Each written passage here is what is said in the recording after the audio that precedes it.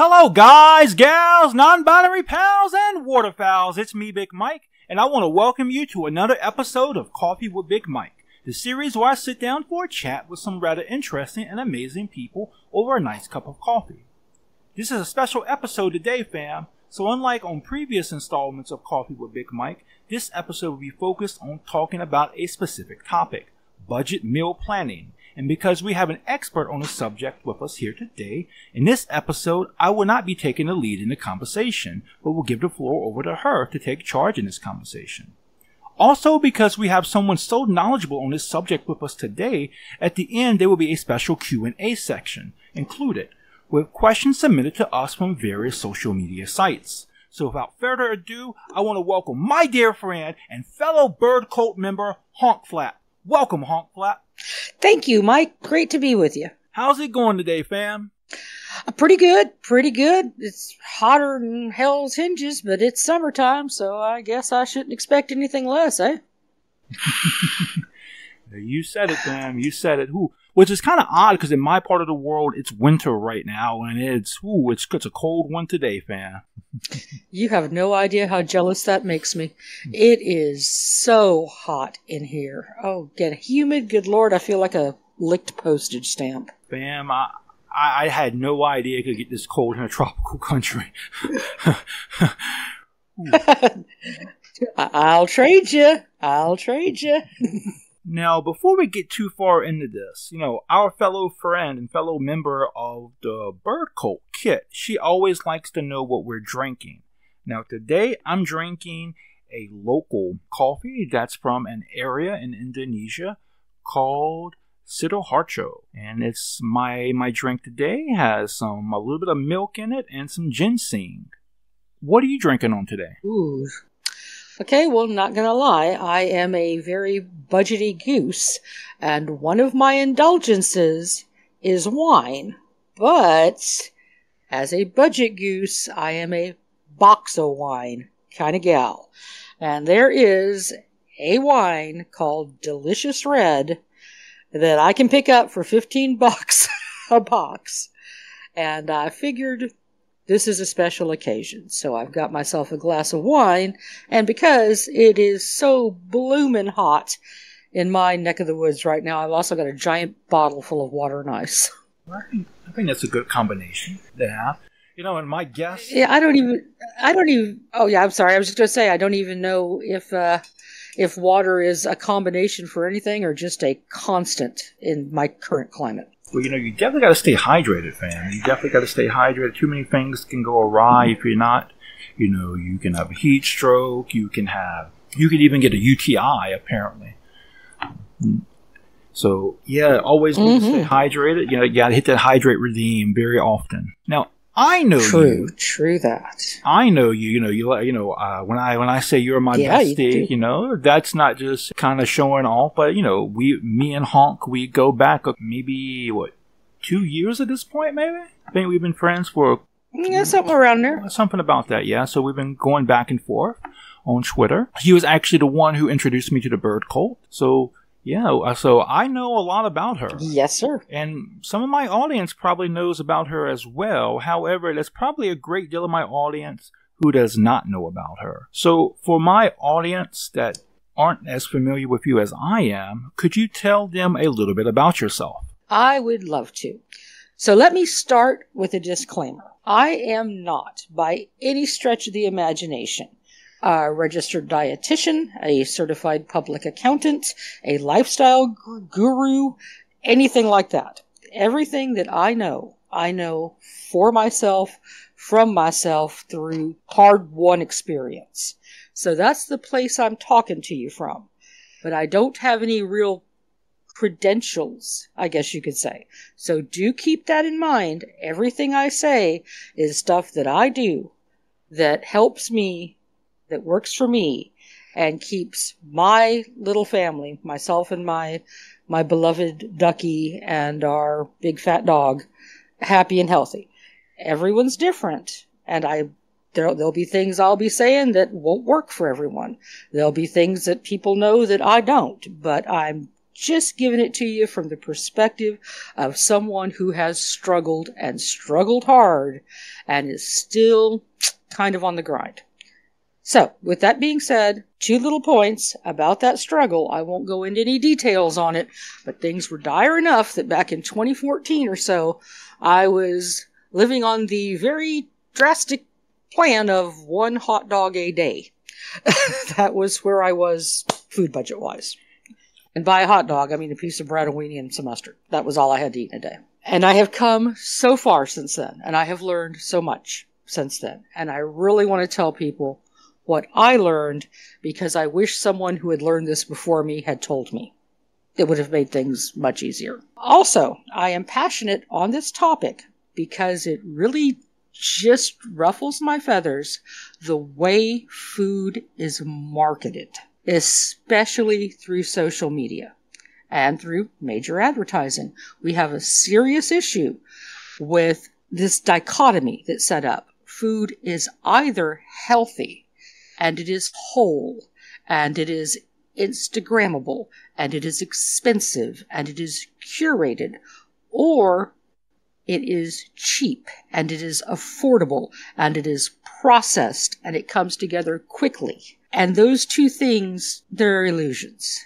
You can eat whole, nutritious food for the same budget, basically, that you can live on weenies and box mac and cheese and ramen noodles. You can, you can do that. But there's a real disconnect in our society between what is healthy, what is you know, sustainable, what is the, this this whole aesthetic, and realistically what whole food looks like. So that's why I'm here. That and to hang out with my bestie. And I just want to point out for our listeners at home who are, who aren't familiar with us, when she says her ducky, she means her her significant other. She doesn't mean like a literal duck. This is true. I call my, okay, th- that's a cute little story. Back when I first started dating my husband, I started calling him Cuddle Duck. And one day he was just like, well, fine, if I'm a duck, you're a goose. And everyone actually knows us now as like Ducky and Goosey. That's, that, that, that's our whole, not just online, like our real life people are like, yo, Duck, what's up?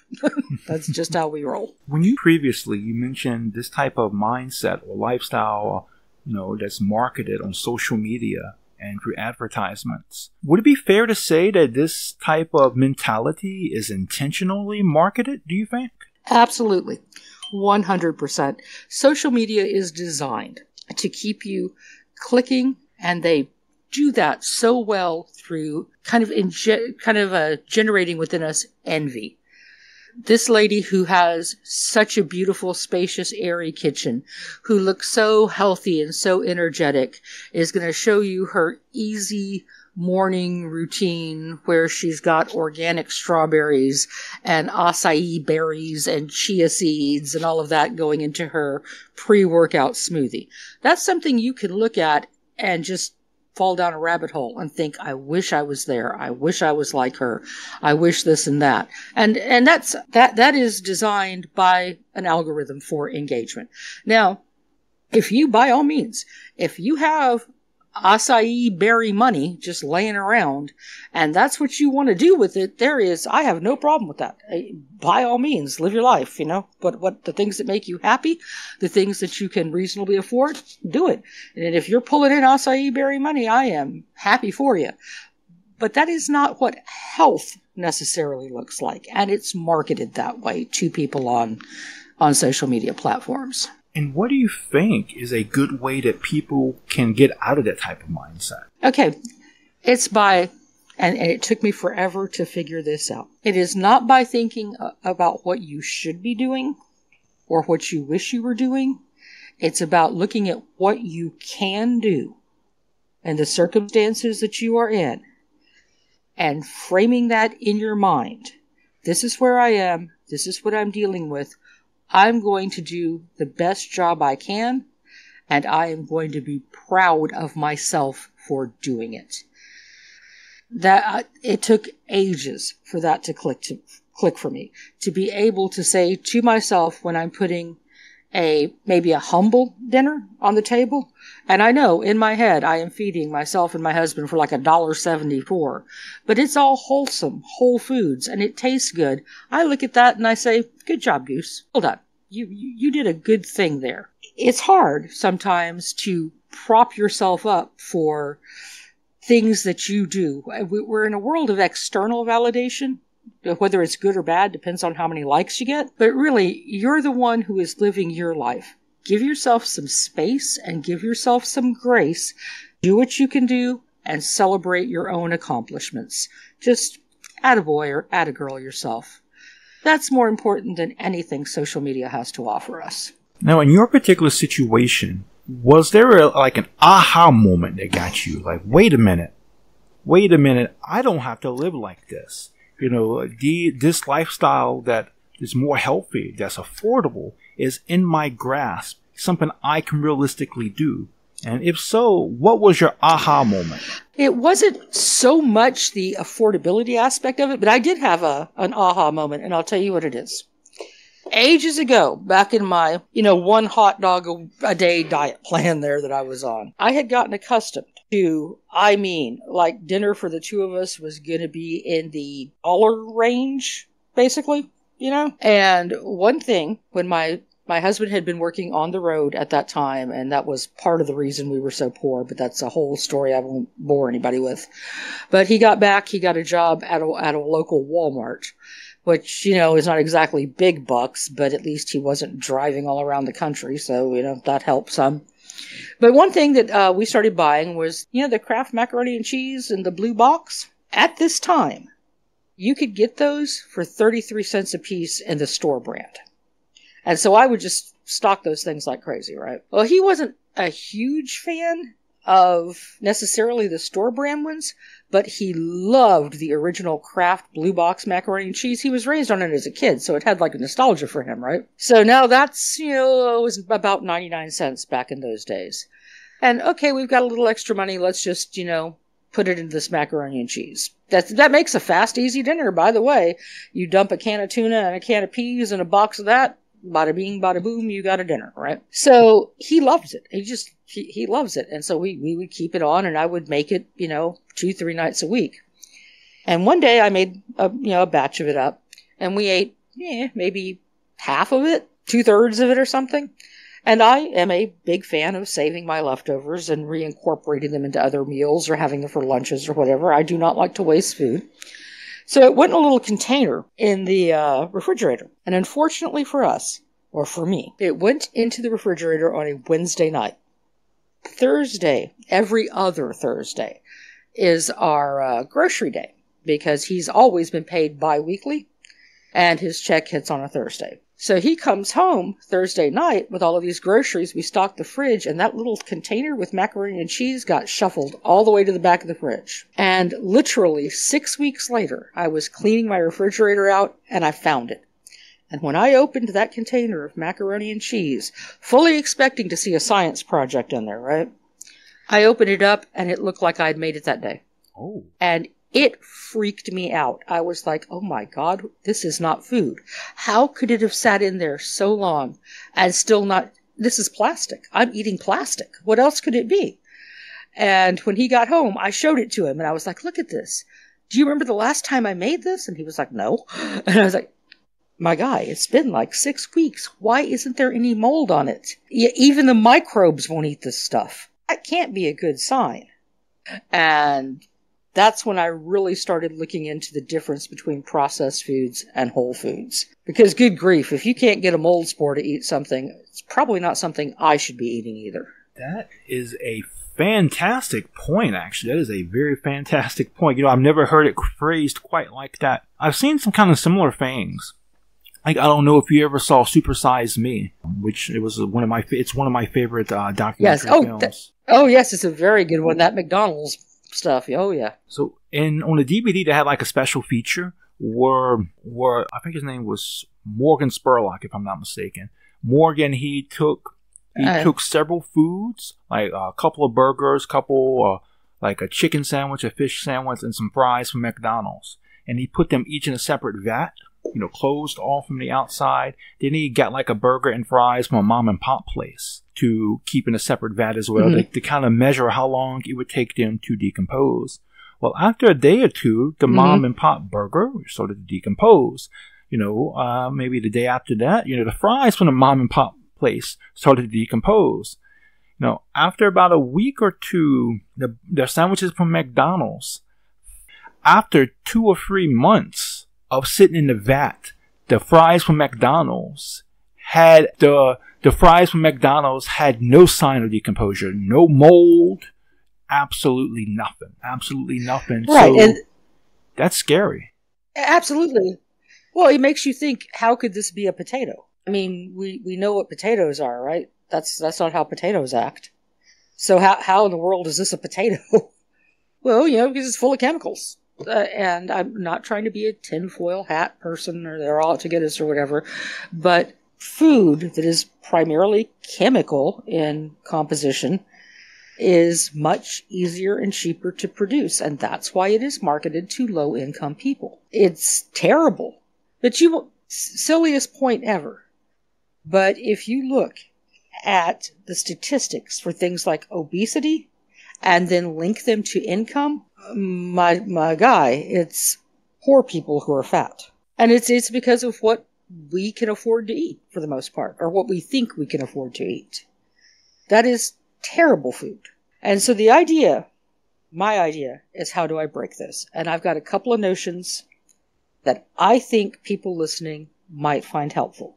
So today, I want to talk to you about whole foods that I find very accessible and very affordable. I want to talk about how I arrange things into a modular pantry that makes it almost seamless to plug things in and out, and then some some budget shopping tips, a couple of recipe ideas, things like that. But if you have the foundational knowledge, then you can look at where you are and say, hey, here's my situation. Here's this knowledge I've acquired. What can I do where I am in my life right now that's going to benefit me? And as I had previously stated, I am not scientistic. I do not have any kind of degrees or anything, but I can tell you for myself that when I stopped eating as much processed food, my diet at one point was almost entirely processed food, and began eating primarily a whole foods diet, my energy level increased. And I, by the way, this is, I forgot to mention that, I suffer from a chronic pain condition and a uh, have you know, struggles with fatigue and things like that. The the amount of chronic pain I was in probably dropped by about twenty percent, and that's a win I'll take all day. Twenty percent less pain is that, that's worth something to me. You know what I mean?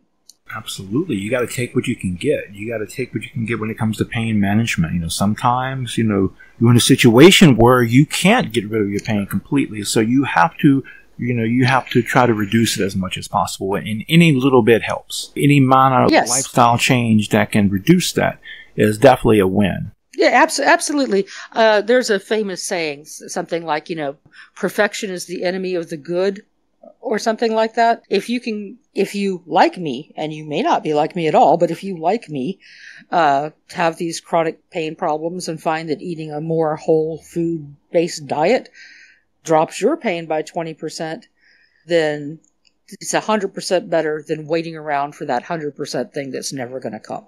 I, find that's true of just about everything. When I was younger, I, I was a perfectionist. I, now that I'm a middle aged goose, I am not a perfectionist at all. I'm doing my best out here. and I think that's all I can expect out of myself. Amen to that, fam. Let me tell you what, I'm, I'm middle aged myself, or I'm pretty close to it if I'm not quite there yet, but I definitely I, I, stopped trying to be perfect a long time ago and just try just to enjoy my life for what it is. So, yep.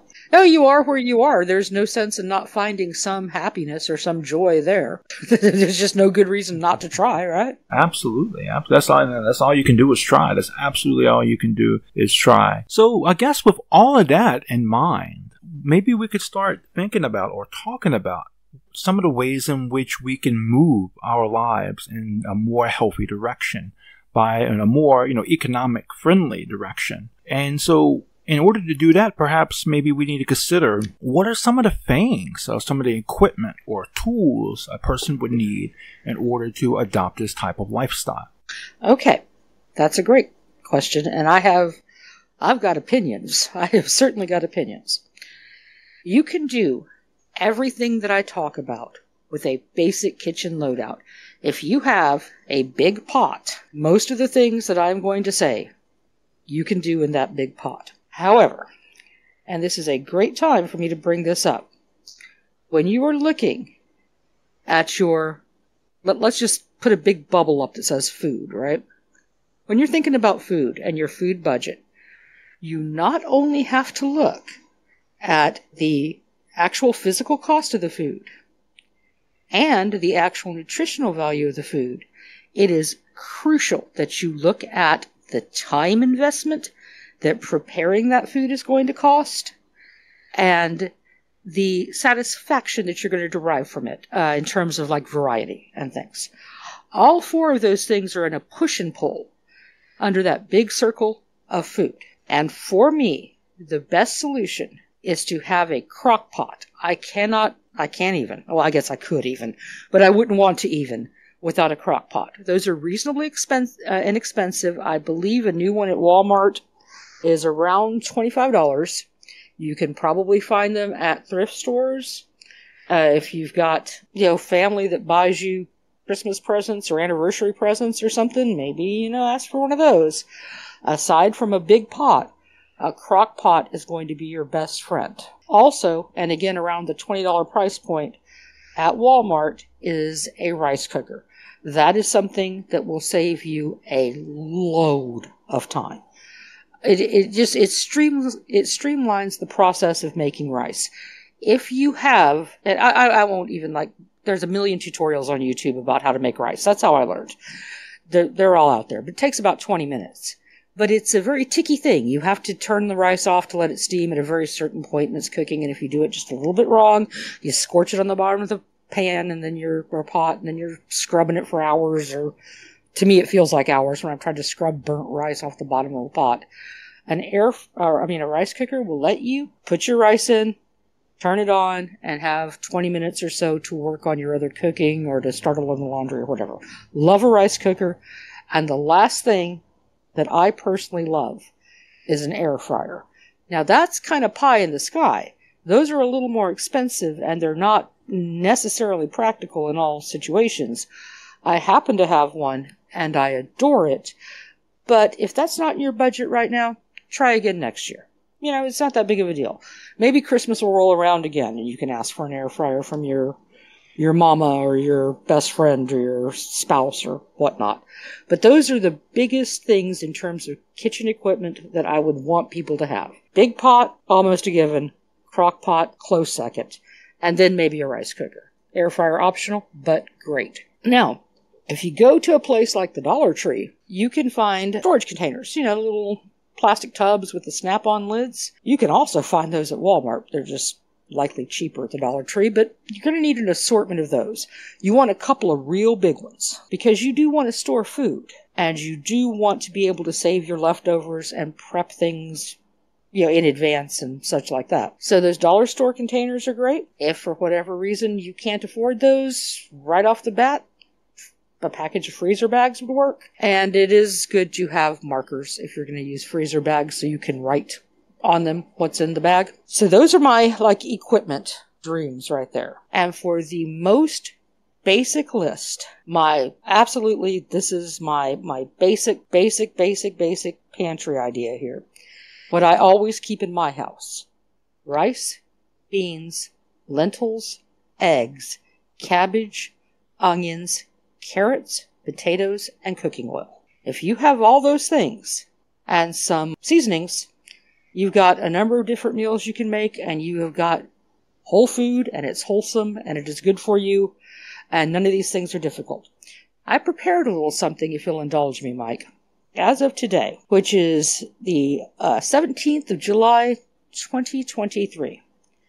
I have gone to walmart.com, which to be fair is probably geolocated me in my area. So your your mileage may vary if you're in New York City or something. But walmart.com right now.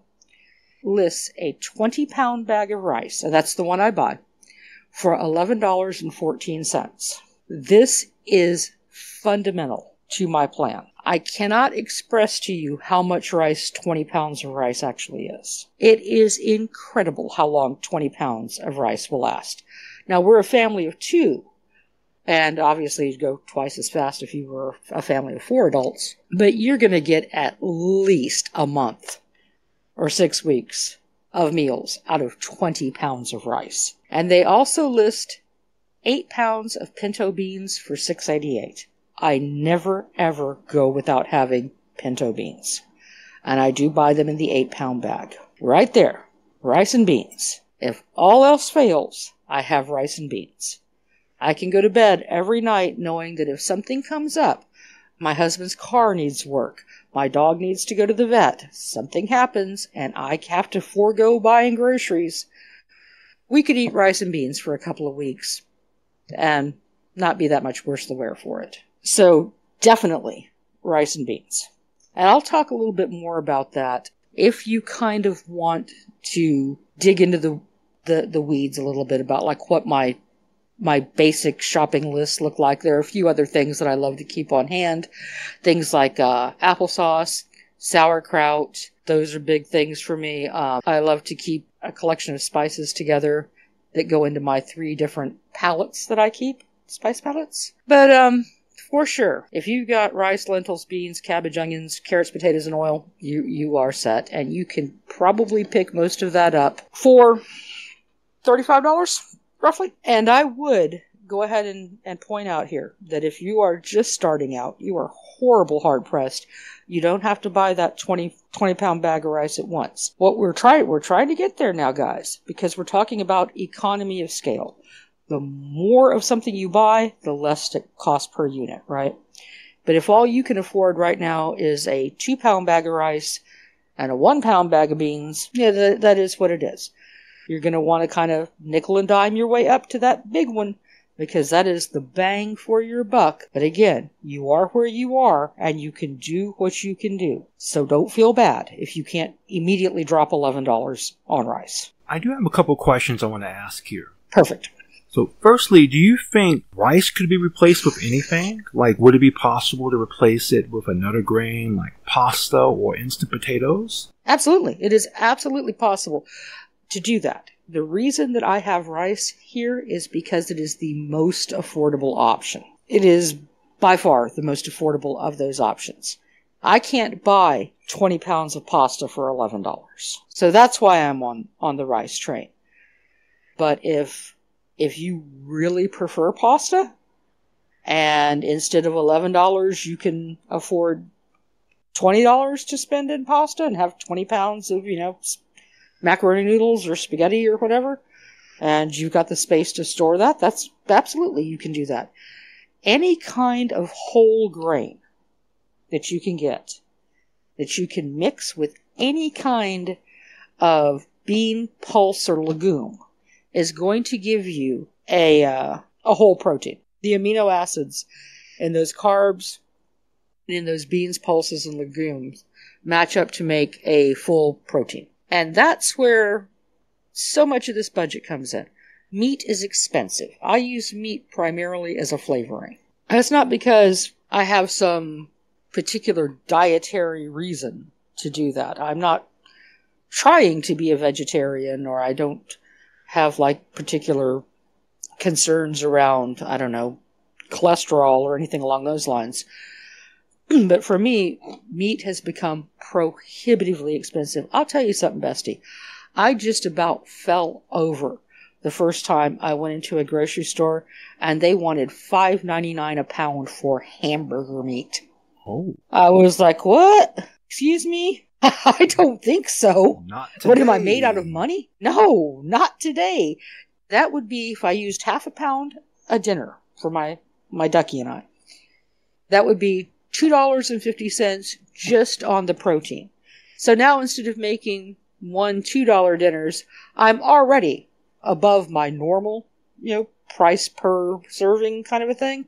And I still haven't put in vegetables or carbohydrates or anything like that. you're already breaking my bank. I'm not not great with that. I'm not great with that. Now, I'm not saying you can't ever have hamburger meat. You can, if if your budget allows for it, or or or or if you can find it on sale as a loss leader at one of your grocery stores or on clearance. That's the trick. You get it when it's at a really really good price. But I would never pay full price for meat. Uh, any kind of meat. I would not pay full price for it. Absolutely not. It is ludicrous how much that costs. I might be getting a little bit ahead of ourselves here when I ask this question. So if you if you plan on to elaborate on this later, let me know and we'll save it to, until then. But are there any seasonings that you'd recommend every kitchen to have? Yes, there are, and you are right on target. That was the next thing I was going to talk about. So again, pricing it all out today at my local Walmart. This is the biggest like flux for me.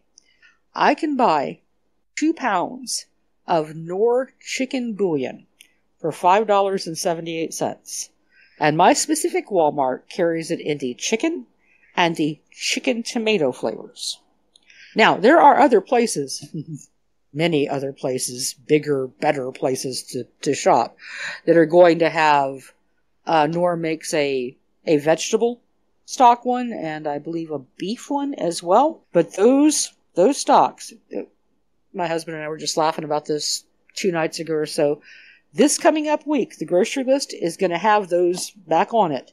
And that will be the first time I have bought the chicken stock powders in over a year. And I can't tell you how great it is to be able to make up chicken broth or a reasonable facsimile thereof in a matter of seconds just by putting water into it. And it goes forever. I use the chicken and tomato one to make rice for every single Mexican dish I make, and I make a lot of Mexican food. So that for sure. Some of the other seasonings that I really love, and let's uh, yeah, let's let's go ahead and get into this. Myself personally, I in my pantry, which I consider to be modular, I like to buy Italian style seasonings, Mexican style seasonings, and Asian style seasonings. So think of it kind of like a design palette. Yeah, like you're on Tumblr or Instagram and you're looking at I don't know, wallpaper swatches or whatever, right? You know, you use this color palettes. This matches this, matches this, right? If you are just starting out and you like Italian food, like, like I like Italian food, then a little shaker of Italian seasoning is the way to go.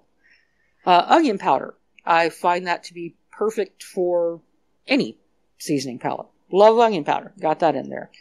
If you really love Asian food, and we do, I like to have soy sauce all the time. And that is incidentally, don't don't sleep on the Dollar Tree, folks. You can get soy sauce at the Dollar Tree. And by that same token, the teriyaki sauce at the Dollar Tree, in my opinion, is better than any of the ones they sell at Walmart. So, obviously, I would want you to have the bouillon. But you need to think when you're shopping for these spices what are my favorite foods writ large? Maybe start with an Italian seasoning, a uh, for the Italian food. Cumin goes a long way in Mexican food, and soy sauce for Asian. If you can only buy three, those would be the three I would buy with my particular palate. But if you like other kinds of foods, if you like Cajun foods, or you like hot and spicy foods, or you like kind of the Midwestern style comfort foods, all of those things are, you know you. You know what you want, you know what your family wants. Pick the palettes that work best for you. Get your spices at the Dollar Tree or at Walmart. Start off with those, you know, dollar a bottle ones. If they don't seem good, like they're kind of bland or not really kicking right, it's because they're dry. They're old and they're dry. And you can fix this by lightly toasting them in a hot pan. 30 seconds or so until they're fragrant. That brings spices right back to life. And as you have, you know, proceed on in the months to follow where you've got no problems at buying rice, you've got beans running out of your ears, then splurge some and buy different kinds of spices. That's where you go in for your cilantro lime seasoning rubs and your, your mirins or your uh, oyster sauces or whatever. And also, another fun trick buy things that are clearanced out at Walmart or weird little things that you find at Dollar Tree. Uh, a couple of months ago, there is a product called Flavor Up by Campbell's, the soup company that I had never heard of and was at Dollar Tree, and it was a caramelized onion and a uh, garlic and herb flavor, and it's like concentrated flavor goo gel at a dollar twenty-five. I bought them. They're tasty. I use them to f- to flavor my beans actually, and when they're gone, they're gone. But whichever flavors you want, whatever you want to do, just try to keep it to two or three and buy things within those palettes. Then, when you've got a good pantry stock, but spices are going to last a long time. It's going to take you a, a day or two to work through a bottle of ground ginger. Now, that's not something that's going to be on your grocery list every week, no matter how hard you try. So, you know, just build up your stock and try to keep it in those three palettes. Keep those front and center and any other fun thing you find, like your caramelized onion flavor goo. It'll be a little one off, a little something to shake things up, change things around. That's all well and good. But if you focus on two or three flavor palettes that your family really loves, that's going to get you places. I want to backtrack for a moment. Now, you mentioned a, a nice little trick, a handy sounding trick to revive a spice that maybe has lost its, you know, its zing, its pizzazz due to age. You, know, you mentioned toasting it lightly for 30 seconds. Yes, sir. How many times do you think you could use that trick mm-hmm. with a with a particular singular spice? Well, what you would do, like for instance, if you and I were making chili together, and you handed me uh, an old dusty bottle of chili powder, I would take out two tablespoons of it, toast it, and put it right in my meal. So you could do that until the bottle's gone. Ah, I see. So you're you're not toasting it and then putting it back in the bottle. No, sir. I'm doing it a a serving at a time. A serving at a time. That just kind of shows how much I know about cooking. So just, um, so this is very much a learning, just as yeah, much a well, learning experience for me as it is for all of you. So, um, well, th- there's no shame in that because uh, let's not talk about how much I know about Linux. Oh, don't put me on the spot. Which would be, I know the name of it. uh, uh, we all have our strengths and our weaknesses. My particular strength happens to be food because I've been fighting this battle for a long time. But, you know, everyone everyone has their own their own little spot, whether you credit yourself for it or not, and you should. Everyone's good at something. Amen to that. Amen to that, bestie. I wholeheartedly agree. You know, and there's nothing there's nothing wrong with not knowing something. You know, we're all we're all ignorant about something, and I- ignorance is nothing to be ashamed of. Well, well, no, you can only know what you know. How could it be otherwise? when you think about it. If you don't know something, you simply don't. And if no one's brought it up to you or told you how to f- explained it to you or told you where to find information about it, I mean, if you don't know, if it's never occurred to you that you can revive spices by toasting them in a hot skillet for 30 seconds or so, why in the world would you ever wake up one day and think, I'm going to Google if I can toast spices? Yeah, of course you wouldn't. That's just silliness. That's just silliness. That's a very good point. that's a very we know what we know. Yeah, we we yeah we know what we know. We live, we grow, we learn, and hopefully we share what we learn with other people. That, that that's kind of kind of based. Well, that's actually the whole kind of cool behind behind this whole adventure. You know, we're on right now is to kind of share knowledge, share what we know, so that knowledge doesn't stay up at the top or among you know a select few people but knowledge should be knowledge is a lot like a love or happiness it's best when shared. It's best when shared. i agree 100% and so that was really the whole 100% behind this and or having your own so absolutely absolutely. After spices what else would you recommend? Okay now, I, I, have mentioned this before, but I kind of glossed over it. I cannot tell you how much flavor onions add to everything that you cook. After salt, onions add more flavor to food than any other single item. I always have onions. And here's a fun little tip. This is just what I do. Again, it won't work for everyone if you're working two jobs or you got three toddlers pulling at you all day long. This may not be viable for you, but for me. When I get onions, I will buy them right now it's the summertime, so I can get the sweet onions, like the Vidalias. Uh, when I can't get them, I go with whatever's cheapest, which is usually the Spanish or yellow onions. Sometimes it's the white ones, you know, whatever. But when I get onions, I'll buy two, three pounds at a time. I will sit my booty butt down.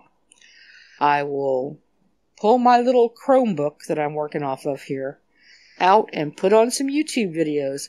And this is probably not going to surprise anybody. I like to watch the budget food girlies talk about what they're doing because that gives me ideas for meals that I might want to make, right? I'll put them on for a little company. If you're not a cooking nerd like me, maybe you want to log into a podcast or something. But I will sit there and chop that entire three pound bag of onions and put it in a plastic container with an airtight lid and put it in my fridge. That there is going to save me an indefinite amount of time throughout the week because now onions go in everything and I'm not dealing with all the little skins and I'm not making my eyes water over and over again and I'm not spending 10 minutes chopping an onion. All my onions are chopped and they go. I do the same thing with my cabbages. Cabbages are beautiful. They are a cruciferous vegetable, which is like kind of in the same family as broccoli, Brussels sprouts, and cauliflower. They're great for nutrition. They're great for fiber. And if you think you hate cabbage and you've only ever had it in coleslaw, or like my ducky used to only ever have it coming from a kind of a deep south family where it was just boiled to the point of a war crime and saggy and slimy and farty, then let me just tell you, cabbage is great. And the trick to that is toss it with a little fat dealer's choice, but I often just use cooking spray on the top of it, aerosol cooking spray. Put it with some onions, toss it in the oven, and let it roast. Just don't crowd your pan because it will steam instead of roast, but roast it off for 15, 20 minutes, get a little char on it. It is great. It is fabulous. It is utterly delicious, and it's also brilliant in a stir fry. Stir fries like a dream. But yeah, you're not going to get more flavor out of anything really than uh, than onions. Gotta love those onions. And I do love to prep them, my onions, my cabbage and stuff, in advance. Just sit down and do it once. So as I'm cooking, I'm just doing the old grab and go, go thing. Which brings me back to one of the reasons I think you need a crock pot. I like to have, I have a big, great big container with a lid. And I will make up, my crock pot will fit three pounds of dried beans soaked. Because, you know, beans, one, one cup of dried beans turns into three cups of cooked beans. I got a big crock pot, but it'll only handle three pounds at a time, and then it's like full to the lid. But I will do up an entire crock pot full of beans because I can set that up while I'm asleep and just let it cook overnight. Then I transfer what I'm going to eat for the week into a container with a lid, put the rest in another container or a freezer bag, and freeze it. Beans freeze beautifully.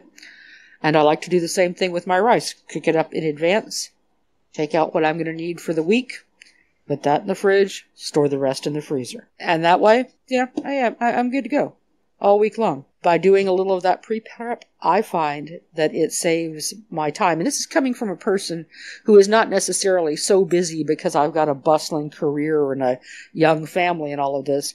I'm talking about as a person who has chronic pain issues.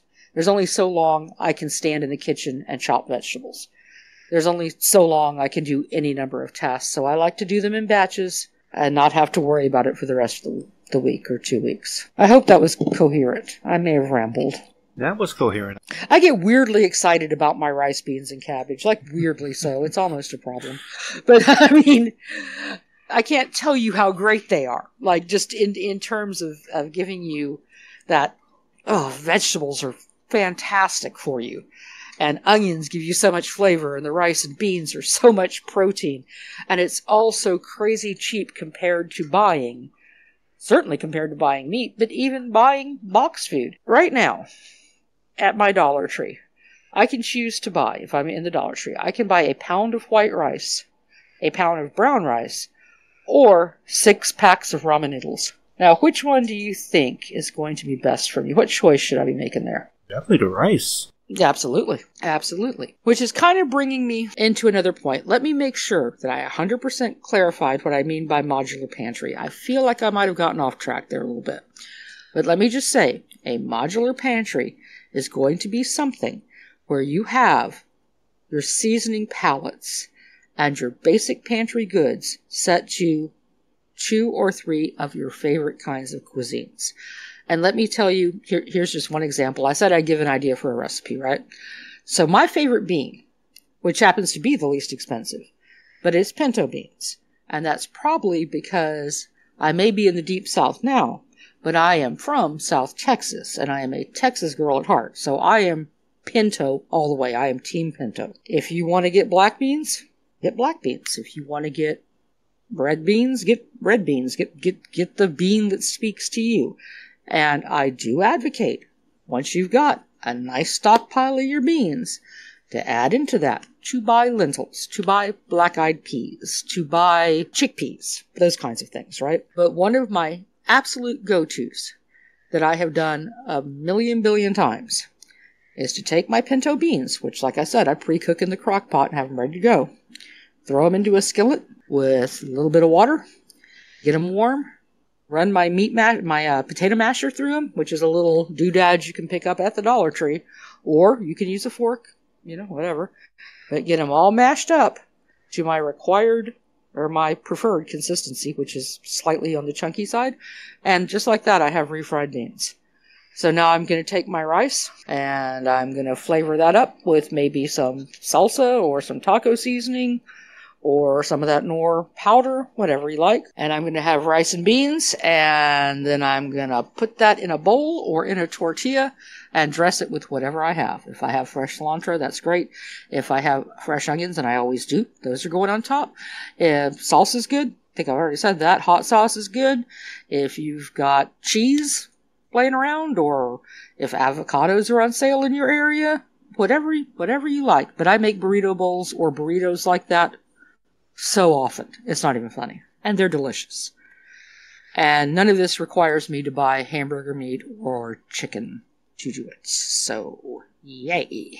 And honestly, once once your beans are prepped already, dinner come together in 20 minutes.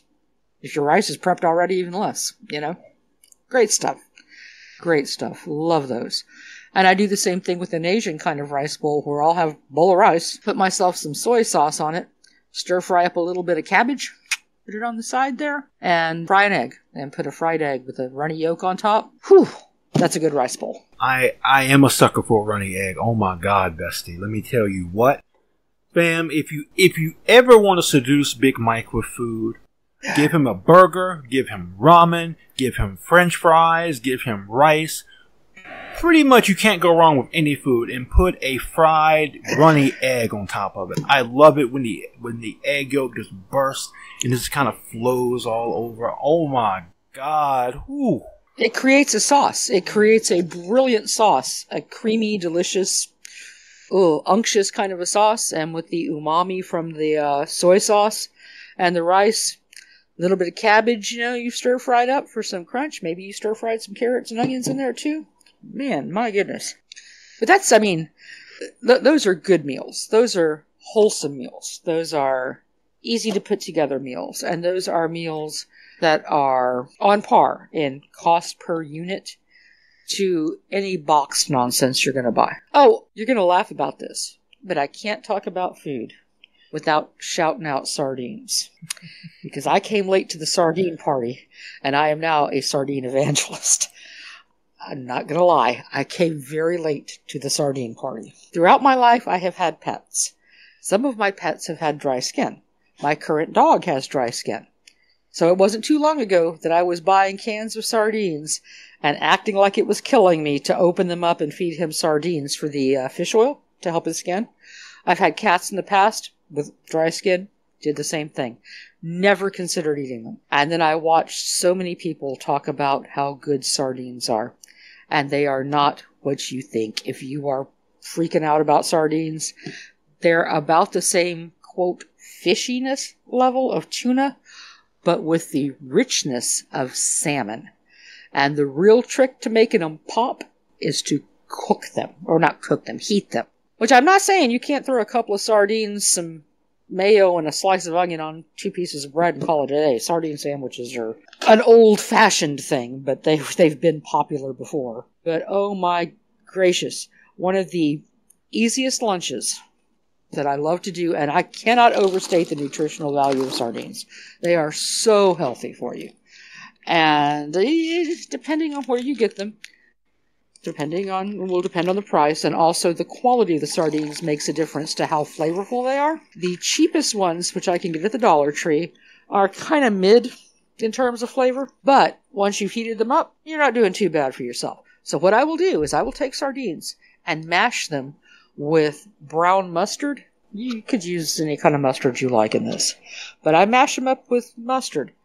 I toast a piece of bread, cut it into three pieces, smear the sardine paste on top of it, and then put whatever I happen to have. If I've got some sprinkled Parmesan cheese, not very wholesome, but you know, it's a vibe. It goes with Italian food. It's very inexpensive. Uh, or a red chili flake or whatever I've got. Pop it back in the oven to let it broil for a minute or two. That is such a good lunch. Oh, good heavens, that's such a good lunch.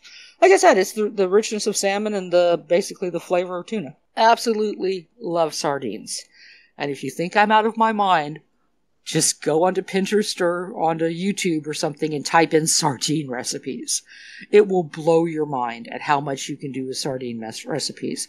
And one of the great things about them is that they're a pantry staple item, so you don't have to put up, you know, with space in your fridge or whatever. But I'm telling you, that 3.5 ounces of sardines is more than enough to feed a family of four because the flavor is just so good. Oh, good heavens.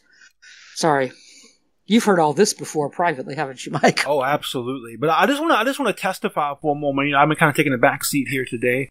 Uh, we're not not adding much because I want to let you to do your thing, Bessie, because you know this is your area of expertise. But I just want to come in and for a moment to testify about this. My wife is a huge fan of sardines, and they're something that can be made fast and easy, and they're, they're relatively cheap as well.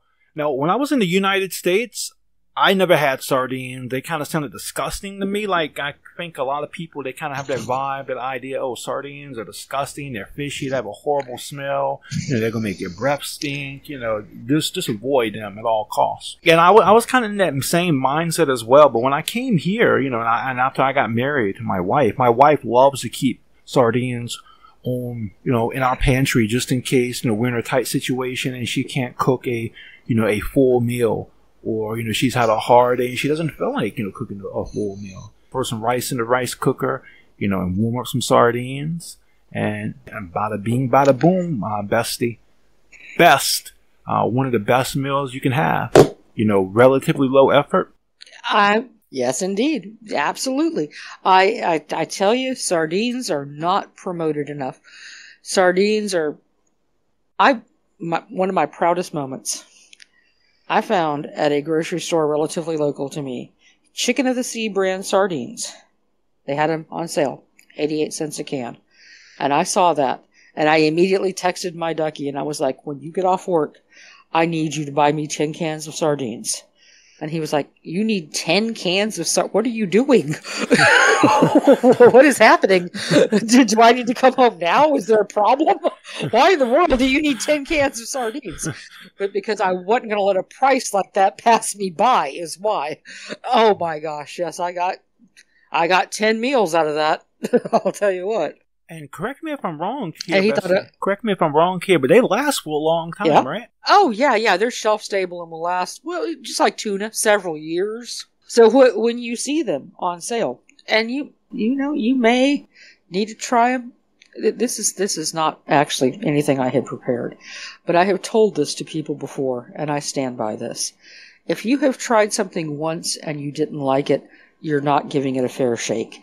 You need to try something as an adult human who is in charge of your own emotions around food, you need to try something three times. So if you get some sardines and you don't like them, maybe try another brand, maybe try another preparation, but just give them a shake. I came late to the sardine party. I had been waddling this earth for nearly five decades before I got on the sardine train. And when I did, whew, I mean, just, just pop in sardines nutrition into your Google search bar and push the button. You'll see what I'm talking about. Those little babies are gold. And as of right now, they've not been discovered by Instagram, so they're still cheap. Nobody on Instagram is doing sardines yet. Which actually brings me to another point that I should have elaborated on a little bit earlier. When I'm talking about my modular pantry and my pantry staples and all of this, You have to be ready to pivot. Back in 2020, there was a certain health issue that seemed to be global that I don't think you're allowed to speak about on YouTube, so I'll be vague, but we all know what I'm saying. And we wound up with these supply chain crises and this and that, and then it fed into inflation. And I've got eggs on my list of things that I always keep on hand. I do. At my local Walmart, 60 large eggs currently costs me $9. At a local grocery store, the same amount of eggs cost me 7. Back before this incident, Walmart had them for 588. But there was a point. There was a definite point in 2021 and 2022 where a dozen eggs was like 5 or 6 dollars and there was no way. There was no way I was going to spend that much money on eggs. So I had to find something else. I had to find out, find another good source of protein and fat that would help bridge that gap in my cooking.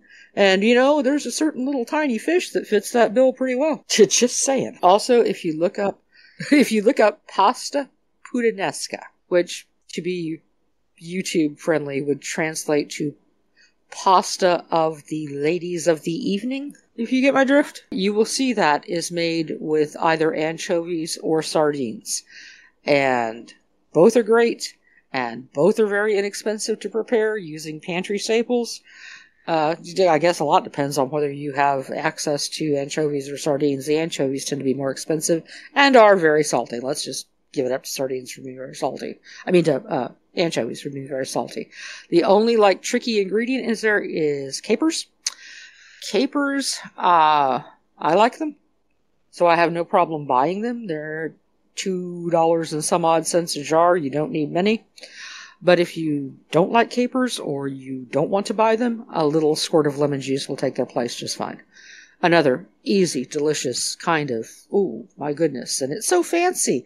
It's so fancy to tell your, to tell your ducky, oh, we're having pasta puttanesca tonight. I mean, come on, doesn't that sound like I put a lot of work into this? Honestly, man, anything that that's Italian, that you know, has an Italian name, it's it's going to automatically sound, you know, fancy, fancy. So I, I just, and, and, let me go, let me go ahead and shout. Oh no, go ahead, go ahead. I, I just wanted Sorry. to ask, have have you ever told Duck? Have you ever called up Duck one time and be like, "Hey, we're having pasta, lady of the night"? Well, not in those terms, but in the actual YouTube yeah. friendly terms. Um, and if so, what was his reaction? The first time that I made it, I said, Hey, babe, do you want pasta puttanesca? And he said, I don't know. What's that? And I said, It's the word that starts with a W and continues with an H. It's the hymns pasta. And he was like, What?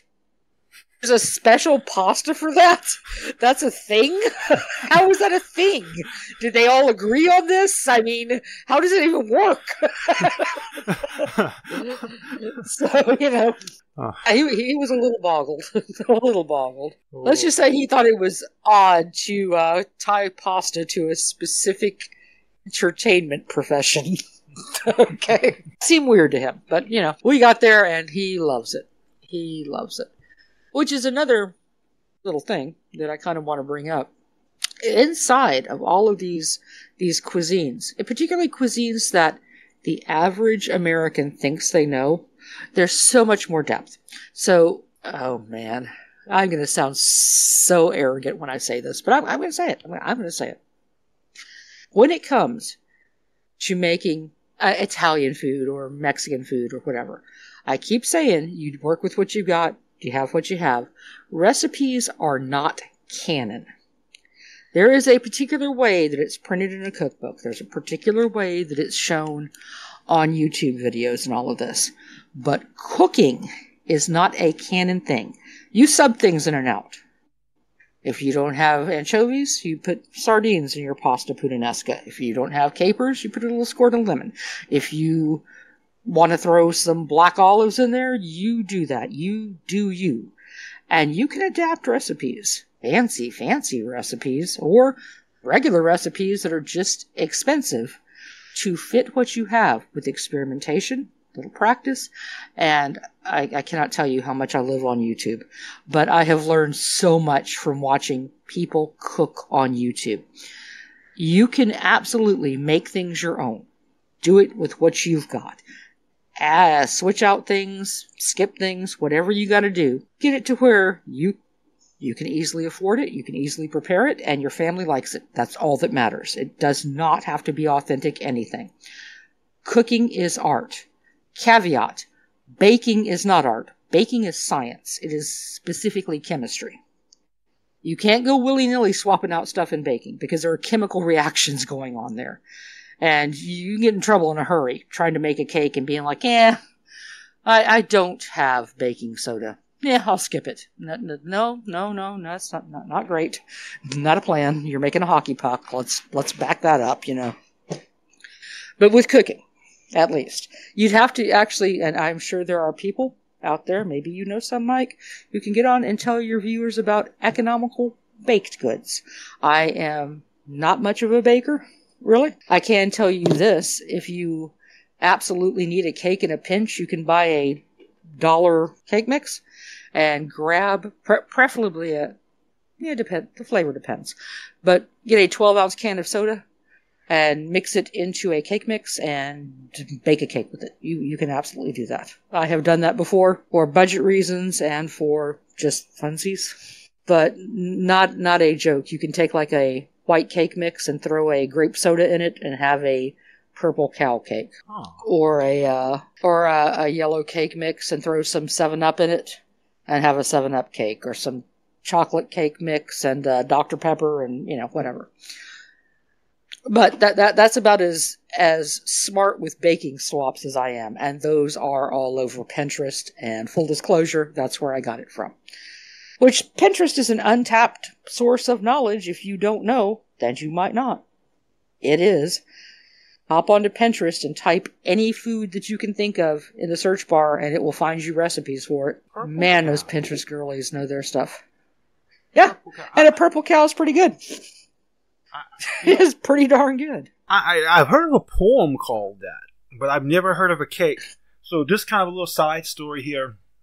I was at work. I used to work. I used to work at a Wendy's back in the day. I was a grill cook, and usually the first of the month was really that was our hell day. That was the day in which we had customer after customer, almost nonstop. And so after, you know, usually about maybe 11 or 12 a.m., it finally starts to, to, to taper off. And so it, it was about that time my manager came in and she started reciting this poem. I never saw a purple cow, and I never hope to see one, but I can tell you something anyhow. It's better to see one than to be one. And I just had to, I had to just rub my face and just, I was like, what? Because I, I thought I had lost it. I thought I had absolutely lost it. And because it, it, was really such a hectic day and I was still fairly new there. So getting adjusted to working in the fast food place, it was, whew. So, yeah, I had no idea there was an, an actual dessert called that though. And it sounds absolutely delicious. I don't it's, know too It's much. pretty good. I don't know too much about baking either, but I think I, I, I remember reading or being told that baking soda and baking powder are in fact not interchangeable. Is that they true? are not. That is completely true. They they are not. They are two separate things. It has to do with the amount of leavening. Baking soda levels more. No, pardon me. Baking powder levels more. Leavens. Good grief! I can't. I can't even talk about baking. I've fallen all over myself here.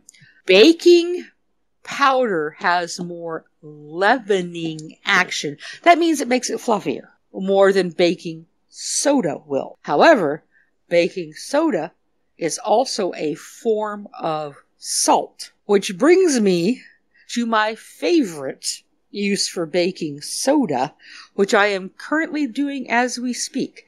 I have some dried pinto beans soaking in water with a spoonful of baking soda. Because if you will put that in there as your beans soak, when you go to cook them the next day, you will make the most tender, creamy, luxurious beans you can imagine. Uh, the, the, the mouthfeel on them, oh my god, they are so smooth and so luxurious and unctuous and wonderful. And it, it's just baking soda. Soaking, put a little baking soda in the water is the only trick to that. Absolutely elevates everything. But here's the thing I didn't know that. I had to find that out from a YouTube girlie who was like, hey, yeah, I'm making beans. I'm going to soak them with some baking soda. And I was like, why? Are you deodorizing them? Do your beans smell? What are you doing over there? I don't know. Changes the texture of them. Ah, wouldn't have known if I hadn't seen that video. Wouldn't have adopted it if I hadn't known that. Don't ever want to not do it. Wonderful, wonderful stuff. So many things are are wonderful that are also and by the way, baking soda is very inexpensive. But once again, it is sodium bicarbonate. Emphasis on the sodium. It's a form of salt. So, keep that in mind if you're using baking soda for whatever purpose that isn't cleaning your kitchen sink. Just know you're adding salt to what you're cooking. Adjust accordingly. You know, cool that, right? You can look up uh, recipes that don't like like for Irish soda bread is based on the leavening in baking soda. But I went through this phase recently, and by recently, I mean hmm, September or October of last year. I decided, you know what? I'm paying too much for bread. I could make bread cheaper than I can buy bread. And that is true. 100% that's true. You can. And I was down with the homemade bread up until about a month ago. And for one thing, I had a very bad period with my uh, fatigue and my pain, and I wasn't really able to do much. I was, I spent, you know this, Mike. I spent like three weeks or so basically just in bed, just couldn't couldn't hack it, couldn't deal with it, right? But we're coming up. We're, we're, we're doing a little better now. We're, we're kind of on track. And I told my ducky tonight, next, next grocery list, I'm just going to get you to buy a loaf of bread so I can throw it in the freezer against the day that I need to put a sandwich in your lunch. Because until this heat and this humidity passes, I don't think I got bacon in me. I, I, I just don't know if I can do it. I don't know if I can run an oven for 40 minutes. This heat's unbearable. Just, just not going to do it. And that brings me to this. This is the one thing that I 100% want to drive home to anyone listening. Yes, as many whole foods as you can get. Cabbage, eggs, onions, carrots, potatoes, rice, beans, chickpeas, lentils. As much of that as you can get. Those are your basics, right? But remember, there's something out there called the 80 20 rule. I actually found this, and I'm sure other people know about this and have said this, but I found this from watching of all things, you, you might not expect how deep my YouTubing goes here, Mike, but there is a bodybuilder by the name of Will Tennyson that I watch. And I am absolutely not a bodybuilder, but he is an affable, likable guy, and he sometimes talks about food that he uses like for his training regimens and things. And whether it's working out, or it's his diet, or anything else, he always hammers home the idea of the 80 20 rule. What you do today, what you have for dinner tonight, doesn't matter over the course of, compared to what you do over the course of a week or a month or a year. So realistically, aim to keep your diet nice and whole, nice and nice and clean, nice and healthy 80% of the time. And don't even think about the other 20%. Life happens, things happen. It doesn't work out all the time. So I bring that up because I have what I call honk it mules. There are going to be days, knowing myself, that I am literally not going to be able to make dinner. I'm just not going to be able to get out of the bed. That's facts are facts, right? So I keep a six pack of instant noodles on my shelf. They're terrible for you. They, they, have no nutritional value. They're awful, but they're there. I also will keep a bag of whatever is on sale. Pizza rolls or fish sticks or something. So that when my my sweet ducky comes home at the end of his workday, there is something he can throw in the air fryer or throw in a pot for two minutes and we can just call it dinner. That's going to happen. Life is going to happen. It's not going to be perfect. Don't be pedantic leave yourself some space and some grace for those nights that things just go wrong. And if you have that, if you have that, if you have got a bag of pizza rolls that you got on sale, and all of my honkin' stuff comes from being things that are on sale, right? or a, a bag of fish sticks, and fish sticks aren't even really that bad for you. But whatever. If you got something you can toss and just kind of throw and go, that stops you from going through a drive-through on your way home because you're too tired and exhausted or whatever to cook. That's that's a win right there. I can't tell you how many pizza rolls I can get for what dinner at McDonald's would cost us right now, which in my area of the country, two people, twenty dollars. Damn. For a for a combo, two combos. Yeah, twenty dollars. Do you know how many pizza rolls you can buy for twenty dollars? For what? Like for like four bags, maybe five bags. This is kind of funny. So I haven't like I don't think I mentioned this, and it's a little relevant to my specific situation. But I am in the deep, deep south. Like I am in the deep south. Like I'm at risk for being carried away by gnats. Kind of deep south, right? Now, my little town has one whole stoplight in it. And in a town this small, I am fortunate there is a local grocery store. It is not much. And a Dollar Tree and a Family Dollar. So I've got three grocery shopping options. None of them are great. But worst case scenario, I could get food from these places, right? However, however, my ducky works in a town 50 miles away. So the poor guy has a 100 mile round trip commute every single day of his life, right? But on his way back, he passes through a larger city. I say city, but I'm talking about if my one stoplight's a town, then this is a city. Okay? I mean, 30,000 people maybe? That, that, that sized? But this place sports a Walmart. as well as a uh, a Winn Dixie and a local grocery store, local regional chain, and that regional chain has a house brand, which you will find at a lot of the independent grocers. Not all of them, but a lot of them will have a brand called Best Choice. And I like most Best Choice products better than I like national ones.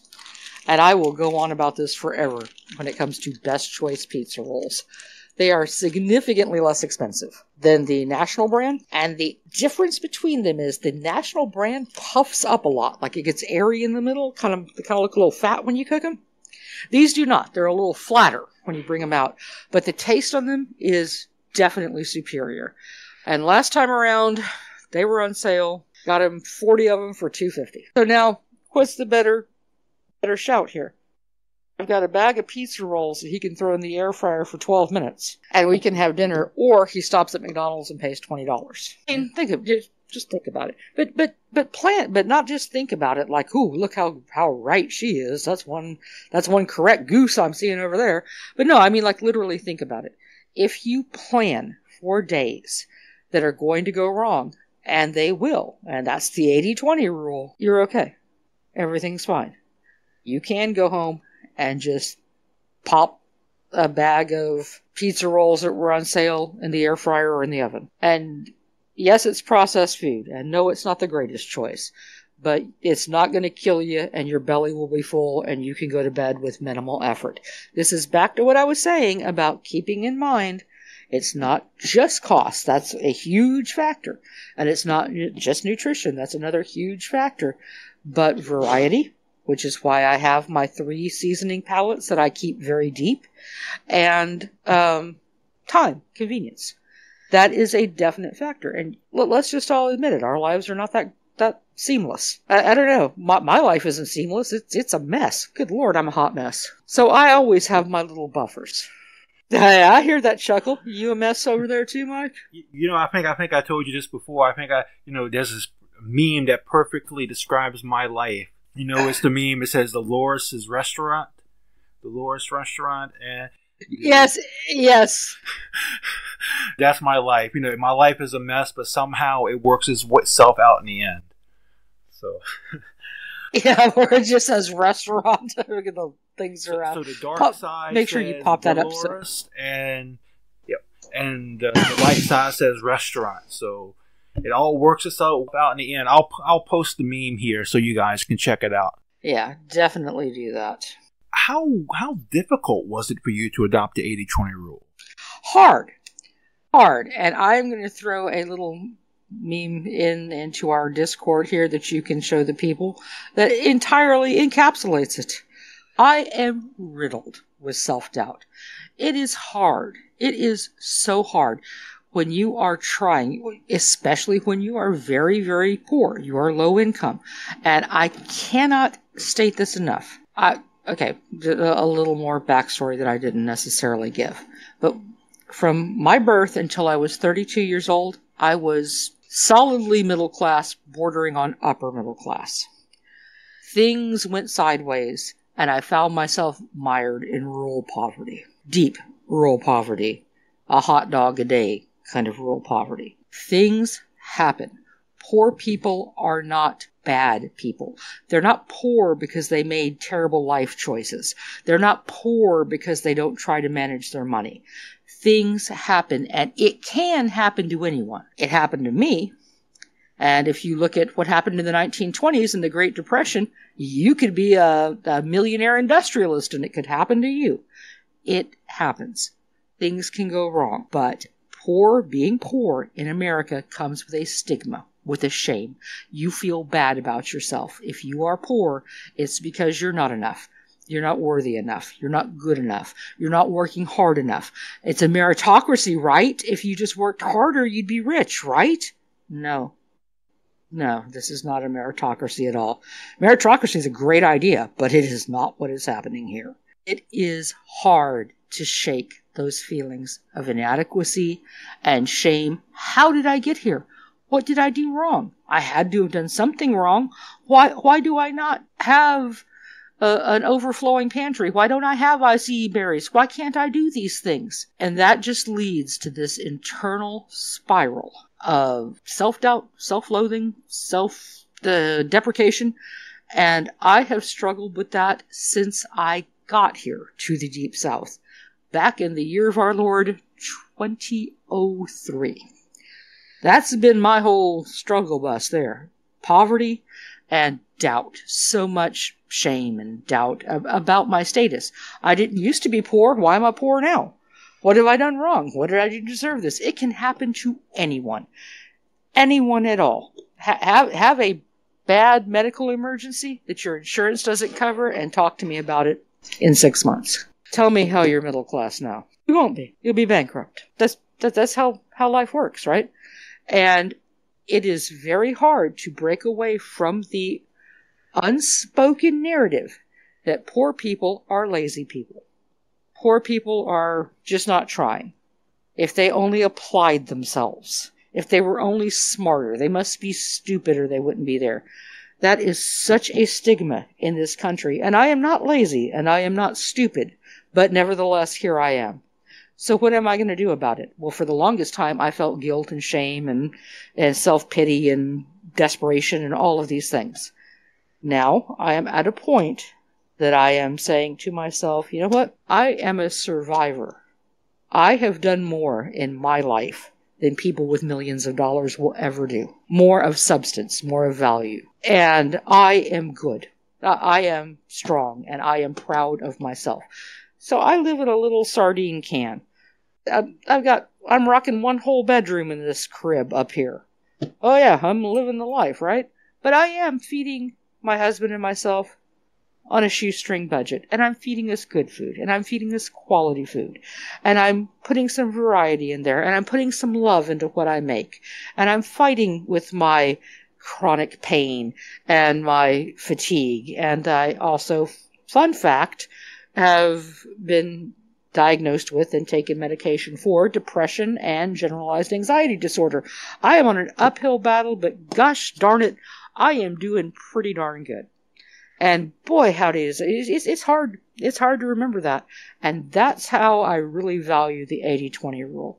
As long as I am doing okay, I'm doing the best I have with what I've got, and I'm hitting the mark 80% of the time, then the rest of the time, to heck with it. I, I deserve not to feel pressure on those days that my pain is too bad for me to move. I, I, I don't deserve to feel guilty about that. I deserve to have those stupid pizza rolls in my freezer. And I deserve to be able to just rest on my heating pad until my ducky gets home. And if that's not Instagrammable, if that's not wholesome enough, if that's not this or that enough, well, those are all external voices talking to me. I say they're good enough. He says they're good enough. we're having pizza rolls. End of story. Sorry for the tirade. I'm just really passionate on this. Well, the important thing is that you're happy. You're at a place in your life where you feel happy, where you feel peace, and you feel, and most importantly, you feel like you have control of your life. You know, I, I cannot stress I enough just how important the idea of feeling like you're in control of your own your own life, your own destiny. You know, the fact that it, it is, and you know what? If you've ever been really hungry, like like I have been, right? Like super hungry, right? You do not know how much peace it gives me.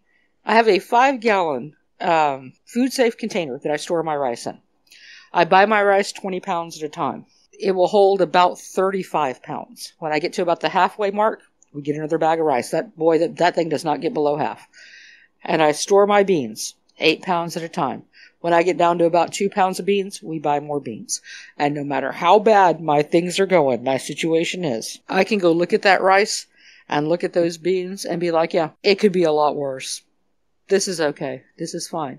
And that peace that comes with that allows you to strategically plan your budget. You, I think I told you this one time in a group call, but if you've got rice and beans and maybe some applesauce and some sauerkraut and some onions or whatever, you got a little produce going on, you got a little, you know, your your carb and your your protein sorted out, then the grocery stores don't have any real hold on you. You're no longer that weird kid in the fedora sitting by himself at lunch. You're now the pretty girl a week ahead of homecoming. Because if they don't have what you want, you can just not. You, you can like literally just no, no, your sales aren't good enough. Screw you, grocery store, and just not. You you have that power, and it's it feels so good to have that kind of power. It does. You you don't have to take whatever is on offer at the time because you've got no choice. You do have a choice, and you can choose to buy the things that fit your budget, and just save that week's grocery money. Maybe next week they'll get their act together and run like chicken thigh quarters for 49 cent a pound in a 10 pound bag. Now that's not too bad. I can get behind that. But I, I don't let myself feel out of control anymore because I've got my rice and my beans. Let me tell you a little, uh, boy, howdy, this is some deep goose lore. But I am from San Antonio, by the way. San Antonio is, has a very large Hispanic population. About half, to tell you the truth, about 50% Hispanic. And a lot of those people are first generation uh, Mexican Americans or, you know, or immigrants to the United States from Mexico.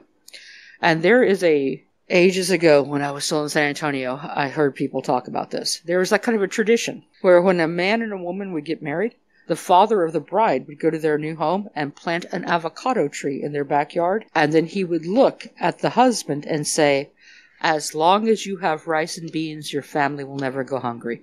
Because that avocado is a perfect source of healthy fat. Now you've got protein, carbs, and fats. Your macros are done. You're good to go. That's the kind of energy I try to give myself. I've got rice. I've got beans. There's some eggs in the fridge, which are a great source of protein and healthy fat. I've got a little olive oil on hand. I'm good. I, I don't need y'all. You need me. I don't need you.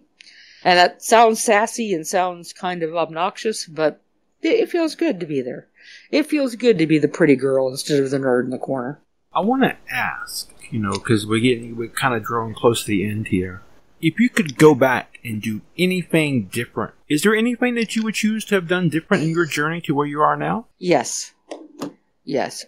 I would have leveraged the power of the internet a lot more than I did. And here's one of the things I'm going to tell you. If you're listening to this right now, then you have some sort of internet access. Maybe you got a laptop, maybe you got a desktop, maybe you got a, a phone or whatever, right? Just have to figure out the questions to ask. And the easiest way to do this is to type in broad things and listen to people talk until something clicks. One thing that I did not ever think to do until a few years ago when I got really serious about this budgeting thing. That little grocery store I was telling you about that Duck goes through that has my best choice pizza rolls. Well, they're big enough to have online advertising. So I can sit in my bedroom and look at their ad on Wednesday morning and plan my grocery list according to what they have on sale. And if it's not on sale, I've got rice and beans. I probably don't want it. Never occurred to me. Never actually occurred to me that I could do that. But I can. The depth of a platform like YouTube is incredible. You can find people doing budget recipes for almost every tier. You can get extreme budget recipes. You can get family budget recipes. Let me give a, a, a little tip here. And this, and the, and the reason I say this, I do not ascribe to this at all. Myself personally, I don't have a need to. But there are plenty of people in this world who are living in food deserts where they just don't have a grocery store. And there is a channel floating around with a very charming young lady uh, as the host of it. And she has a channel called Dollar Tree Dinners. And everything on her channel is her making recipes from items that she has purchased at a Dollar Tree. If that's all you've got, if that's what you're working with, she's got some pretty good ideas. She's creative with what she's doing. That's great. If you are interested in shopping with the economy of scale thing, kind of the way I do, there is a woman out there with a channel called Frugal Fit Mom. Now, she's not as frugal as I am, but on the other hand, she's got a family of six, you know, so a lot more people. But she's got a ton of videos on her channel about shopping sales, shopping clearance, recipes that will feed a large family. I don't have to worry about a large family, but loads of people do. And I still watch her, and sometimes I get ideas. There's a, uh, a little old lady in Tennessee who goes by Southern Frugal Mama. And she's a down home country girl like you would kind of expect with a husband and three kids. And she does budget challenge videos all the time. And if you want to know how to make Southern style soup beans, she's she's got the recipe for you. Uh, she, she can show you how to make some homemade biscuits. She can do that. All of those resources are out there. All of those things are available, but you have to find them. And it is threading a needle on the internet to find good quality content and avoid the toxic content. I've got no interest in seeing flashy people living flashy lifestyles that I will never obtain and telling me that I should probably check to make sure I've got enough nutritional yeast and textured pro- vegetable protein in my pantry to make their dinners. I have n- no interest in that. If I had money, maybe I would have an interest in that, but I don't, and so I skip on those things. But you can learn so much from the internet. You just have to curate what you consume. Let in the positive and block out those things that make you feel inadequate and foolish and hopeless. If you can find someone that's speaking to you, that's giving you ideas, that's giving you something to work with, they're valuable. If they're making you feel envious, you should probably just not view that content anymore. It's not good for you to be envious. I think that's a great point to bring up, Bestie. Yeah, one thing I like to I like to remind people of over and over again we live in an information age, and so you're not a, you're not alone here. If you're going through something, or if you need information about something, chances are it's already been discussed. It's already been researched. You know, there's loads of content out there. You know, you have to search for it. You have to sometimes separate the wheat from the chaff, but it's there and so take advantage and stand on the shoulder of giants. Also, I would like to recommend, you know, if you have anybody, if you have any older people in your area or in, in your family, in your social network, sit down and talk to them. Sit down and talk to them. Have a conversation. Draw on that wisdom. I don't think that we, I think unfortunately we're a little too late in the game to take advantage of this situation. Had, had I been old enough, you know, I would have loved to have sat down and talked with some people who lived through the Great Depression, for example. Say, hey, okay, so you didn't have a lot of money then. So how did you handle that situation? What kind of foods did you eat? Um, what did you what did you what did you do when you couldn't go out and and say and go you know drop a lot of money on dinner, for example? Or what would you do in that situation? Uh, unfortunately, you know, that time has passed. They can't do that anymore. But there's still older people. There's still older generations there. And not every old person will be knowledgeable about something. Um, not, uh, you know, not all, not all, all experiences are equal. But again, you know, it's separating the, the wheat from the chaff, the wheat from the chaff. Um, so just try to keep that in mind. Stand on the shoulders of giants. You know, take advantage of the information at your disposal and the wisdom at your disposal and use it to your advantage, as my bestie has pointed out. Yes, that, and that is exactly what I did. I didn't come to any of these things in a vacuum. I didn't understand how I could incorporate whole foods and a a largely plant-based diet, which again, it's not intentional. It's because meat prices are just too damn high. You know, how I could could feed my family in that way without having found inspiration. These ladies were either these people, and I say ladies, it's it's mostly women who do this content on YouTube, by the way. But there are there are there are some fellas out there, and uh, as as I noted before, I I dig I cast my net wide. That's how I happen to follow Will Tennyson, the bodybuilder, for crying out loud. I mean, I, I look for it where I can. I take what I can of value and try to internalize it. And I go forward from there. By the same token, I am also subscribed to uh, a fellow named Jason Stephenson, who is an Australian guy who does guided meditations. And when the whole world is just falling to honk in a handbasket, I sometimes just listen to him guide me through a meditation to calm my doggone self. Sometimes you gotta take a minute, guy, you know? What can I say? Sometimes you need a minute. That helps. That truly helps. I just want to point out, wow, while we're talking about YouTube and stuff, if you think my bestie has a great deal of knowledge about food and cooking and, and budget meal planning, you should listen to her honk about YouTube. I have never met another person with as much knowledge of YouTube lore or YouTube history as this goose right here. So one day maybe I would have to love to have her back on to talk about some YouTube related stuff. Well, well, we we could. Um, I, I don't know if there's such a thing as having a a doctorate in YouTubeology, but I have found that if you can avoid the content that is toxic to you, that makes you feel bad, that makes you feel, and, and, you know, it, it's okay to feel a little bad sometimes. It's okay to watch someone make a great piece of art, for example. There, there's a whole section of art YouTube. You can watch someone do it and go, man, I sure wish I could do that. That, that. That's fine. But if you find something that's making you feel really negative about yourself, or, and my biggest red flag is making you feel envious, you want to stay away from that. But good heavens, it is an entire universe out there. And you gotta kind of curate yourself now. You know, check yourself before you wreck yourself and all of that kind of a thing. There's some stuff on YouTube that they ain't got any business being there. To tell you the truth, there are some dark, terrible things on there. But let's not throw the baby out with the bathwater. There is plenty of really good content that will help you.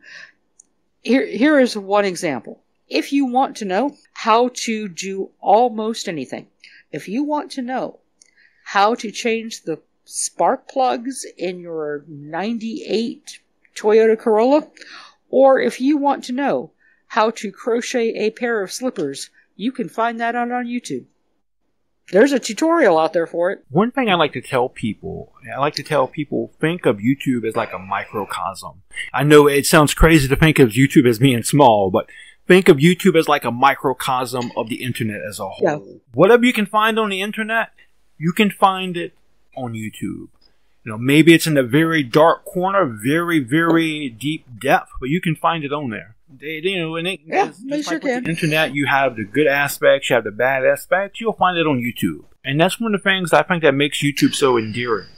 Is that you know, pretty much anything and everything can be there. Well, almost, almost. Yeah, yeah, yeah, yeah. It, it is. Well, I mean, not even just almost. I mean, the way the TOS is written, it's kind of weird. I mean, technically you can't get straight up pornography, but there are people skirting that by tagging their videos as nude yoga. Oh. A Mutahar from uh, Some Ordinary Gamers went on a whole rant about that, and he's not wrong. So, you know, what I mean, you know, and and Mutahar from some ordinary gamers, I do uh, watch, yeah, semi regularly. I like his podcast, some ordinary podcast. I listen to that almost every episode. Love it. Big fan of Nux, Nux Taku. Shout out to Nux, my man. But anyway, um, you know, it, it's funny too what you become or what you find. You might have an interest in something that you didn't know you had an interest in. Like, I didn't realize how much I liked anime until I listened to Nux Taku for a while. And then I started getting into anime. And boy, howdy, did that make my duck, who is an anime guy, super happy.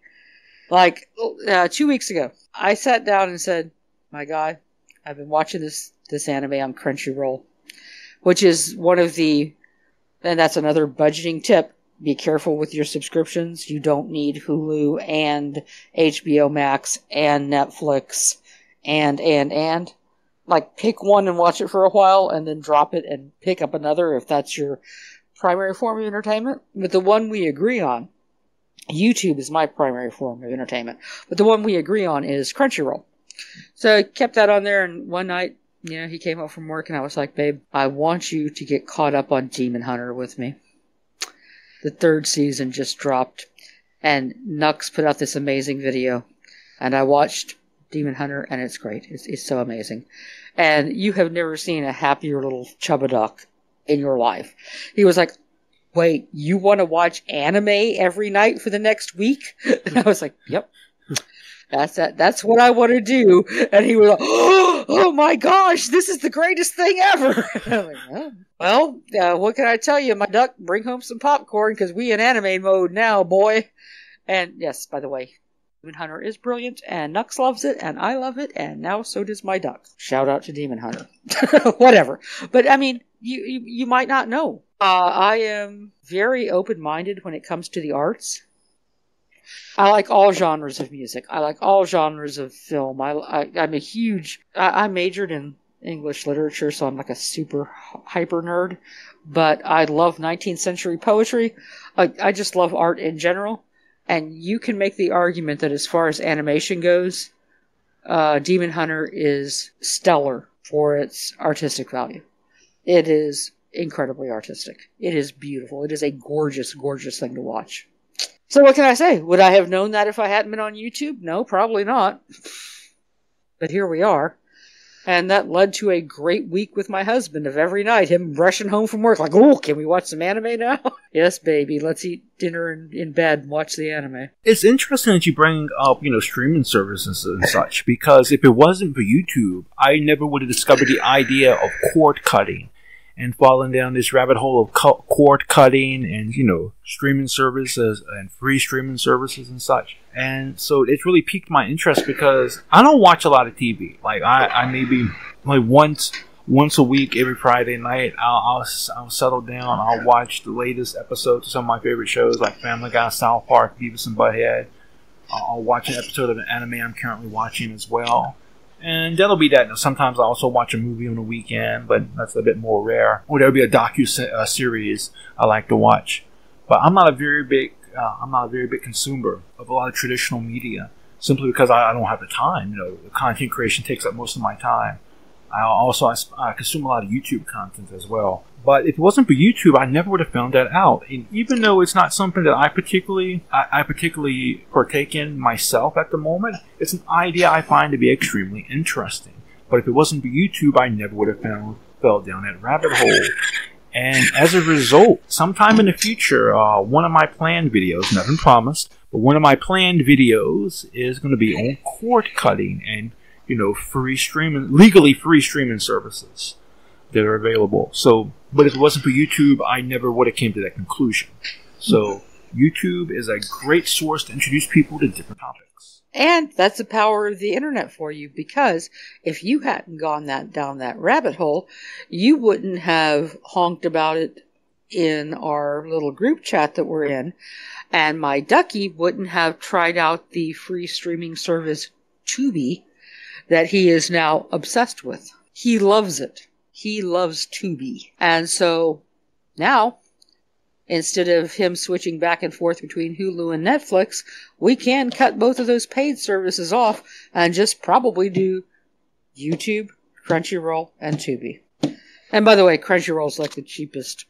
I think they're like eight ninety nine a month or something. Yeah, yeah. I was just just saying that he loves Tubi, which is a free internet streaming service, and you're talking about that cord cutting got him to look into it, and now we can probably do away. We we had this. Uh, okay, here's another like full disclosure thing, and this is one of the reasons that I'm happy, regardless of how poor I am, regardless of how bad my physical health may be, regardless of my struggles with anxiety and this and that. I have a quality human in my life. Ducky and I are like beyond soulmates. We are very close to each other, and I hope that everyone out there has someone or finds someone that is in, as important to them as he is to me. But we will talk for hours. Like this is a, one of the biggest, honestly, one of the biggest problems that we have and it's a great problem to have, is that we will leave laundry unwashed or dishes undone until way too late in the evening, and then we're rushing around like crazy people trying to get everything done. Because even 12 years into our marriage, we can sit down and start talking and just not stop for four hours. And so we were on this, this thing the other night about why I prefer YouTube to Netflix and to you know, Hulu and HBO Max and all of that. And it is because I feel this is just me. This is just like my personal opinion. I could be way off base here, and I'm sure there'll be a lot of people who have other opinions. But to me, it feels like back in the 80s and the 90s and things, when people were pitching TV shows or pitching movies to studios. It was like a team of people that made this thing and then they shopped it around, fingers crossed. Please let someone pick this up. This is the art I made and I want to show my art to the world. Now it feels like Netflix and Hulu and all those things just have a, a herd of writers just sitting around that they employ.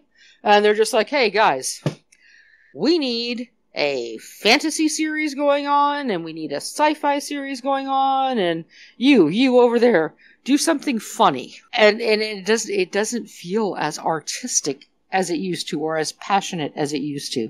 And youtube for all of its warts and all of its bumps and all of its little stray hairs and awkward places does have a lot of authenticity and a lot of heart to it. And i don't know i, I just feel that. So we divide up kind of how much money we spend on entertainment in a month. And the one place that we agree, I, I am willing to concede, 100% willing to concede that he can have his Hulu or whatever, or his Netflix or whatever. The only thing that I want is for us to have, we, we subscribe to YouTube Premium, okay? Sounds a little shameful. Family plan, $30 a month, but I get more than $30 a month of entertainment out of it and knowledge you know, I get knowledge out of it. And um, that lets me support my favorite creators at a higher tier than watching their ads does. It's not really the ads that bother me. It's, it's that I, I want to support independent creators with my view at a higher rate than just the ad run. And I'm poor, and I'm over here trying to support the arts. What do I know? Maybe I'm weird. But I just I feel like I get so much value out of it, and I don't think thirty dollars a month for two people to have access to unlimited entertainment is that bad of a buy. I don't feel like that's a bad buy at all. So we do that, and now maybe we can get rid of those silly Netflix things, and he'll just watch Tubi. Who knows? one thing I want to point out before we move on is that you know Tubi Tubi isn't the only one. There are lots of other free, legally free streaming services out there as well, um, like Philo, for example, Philo, Philo, and I, will shoot you some more uh, later when this conversation is over with. But there are there are a lot more out there. Yeah, yes, please do. Now, a please, lot of please do because my share. duck. Oh no, I just say please do because my duck will absolutely look into those. He is he is far more into. Uh, would you call it like mainstream? Well, no, that's not mainstream media has this association with like the news to it, but he's like way more into corporate or network like films and entertainment and things like that than I would ever be. Yeah, he like the thing on Tubi. He found this old series that he used to watch when he was a kid called Merlin, and he's just been like binging this thing because as a child he loved it, and it does not even exist anywhere else. And there, there's some like old movies. I think he watched something called um, It's a very early Peter Dinklage movie, the guy from Game of Thrones, but it's called like Super Badass Heroes or something like that. Anyway, anyway, he, he loves that kind of a thing. I, I don't watch a lot of that myself. But he will love to have more options to look at. So by all means, DM me some links that I can give to him, or ac- actually DM them to him directly. He'll be like super into. Yeah, just DM him directly so that he can check those out because he loves that kind of entertainment. Uh, just kind of keep in mind that uh, you'll find a lot of the same content on, on across these free stream legally free streaming services. However, they'll also have some unique content as well, and they also tend to shuffle out a lot as well. So what's here today may may or may not be there tomorrow, or may not be necessarily be there in a month. And so you'll see a lot of shows and movies and other content that's kind of cycle through as well. But that's, but yeah, that's really kind of it um, here for this portion. So, do you have anything you want to add before we move into the Q and A section? Um, no, I would just like to say that as you already know, I love you and I want only the best for you and I really want the best for this series you are doing. If my little honking and flapping here has done one person out there any good, I am delighted for that and for the opportunity to put it on the internet where it can be found by someone looking for this exact kind of content. And I am very much looking forward to you continuing this series because I personally know if you can find anybody out there who has like fitness and uh, mobility tips for people with chronic pain or older people or maybe like obese people or whatever, I would be all into that. And I would certainly be interested in anybody with any organizational tips because I think I mentioned this before, but I am a hot mess. And if you saw what my what my drawers look like in my bedroom, you would probably not want to be seen with me in public. Oh, good lord. Everything's such a mess.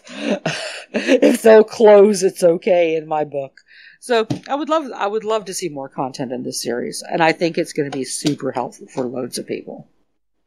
And that's kind of that's that's the plan. That's the plan, and I look forward to uh, bringing more of it. You know, both talking to experts like such as yourself and subjects, and also you know doing research uh, on my own, like uh, talking about you know how and where to play games for free, or how to find uh, legally free uh, games to play, or legally free streaming services. Something I look forward to it because I feel like you know I feel like you know with a platform that there comes a certain responsibility to it you know, I feel like it would be a damn shame if, you know, if in addition to doing my normal content, trying to entertain people, um, what have you, trying to tell, trying to show people my artistic vision, in addition to doing that stuff, you know, I think it would be a damn shame if I didn't try to use, you know, you know what platform I have to try to help improve people's lives. So that's a very big thing for me and that's something I hope to do. Um, and you've helped me today. You've helped yeah. me. You've helped me do that. So uh, thank you very much, Bestie, for that. Well, I, I, I hope I did. I feel like I rambled and was all over the place, but that my life is all over the place. I am a ramble. But to your point, I believe that there was uh, Bob Marley. Didn't he famously say "One world, one love"? Absolutely. Yeah, maybe we should remember that. Now let's move on to our Q and A section. So, uh, so here, Bestie, we have a series of questions that were asked from our followers across various social media platforms, and our first question Okie dokie. comes from at Frilho on Twitter, and they write, "That's such a cool idea. I love it." They're referring to uh, this this episode of Coffee with Big Mike. I'm terrible at planning meals. Buying in bulk doesn't always work when there's just two of us in the household and we have a limited freezer space. I love some tips for easy office lunches with minimal prep time. Oh my gosh, you are right in my alley. I also live in a small space. I like love my sardine can, but there's not a lot of room here. And I also don't have a lot of freezer space and a two person household. So you were right there for me. Let, let me tell you. I would do bowls. Just, just think bowls, right? So you cook yourself up a big old pot of rice. Now, whether you're doing this in a rice cooker or an Instapot or a pot on your stove, rice is going to take you mm, let's estimate 20 minutes, right? But it doesn't matter as long as you've got the volume capacity in your cooking vessel of choice. A cup of rice or a pound of rice is still 20 minutes. I would cook up rice. I would put it in my fridge. And uh, what I didn't think I was going to use in the week, I would put in my freezer because rice freezes beautifully, if you did not know. And then I would make bowls. Here's the kind of bowls I would make I would get myself some beans and some salsa and some fresh veggies, and I would make a burrito bowl.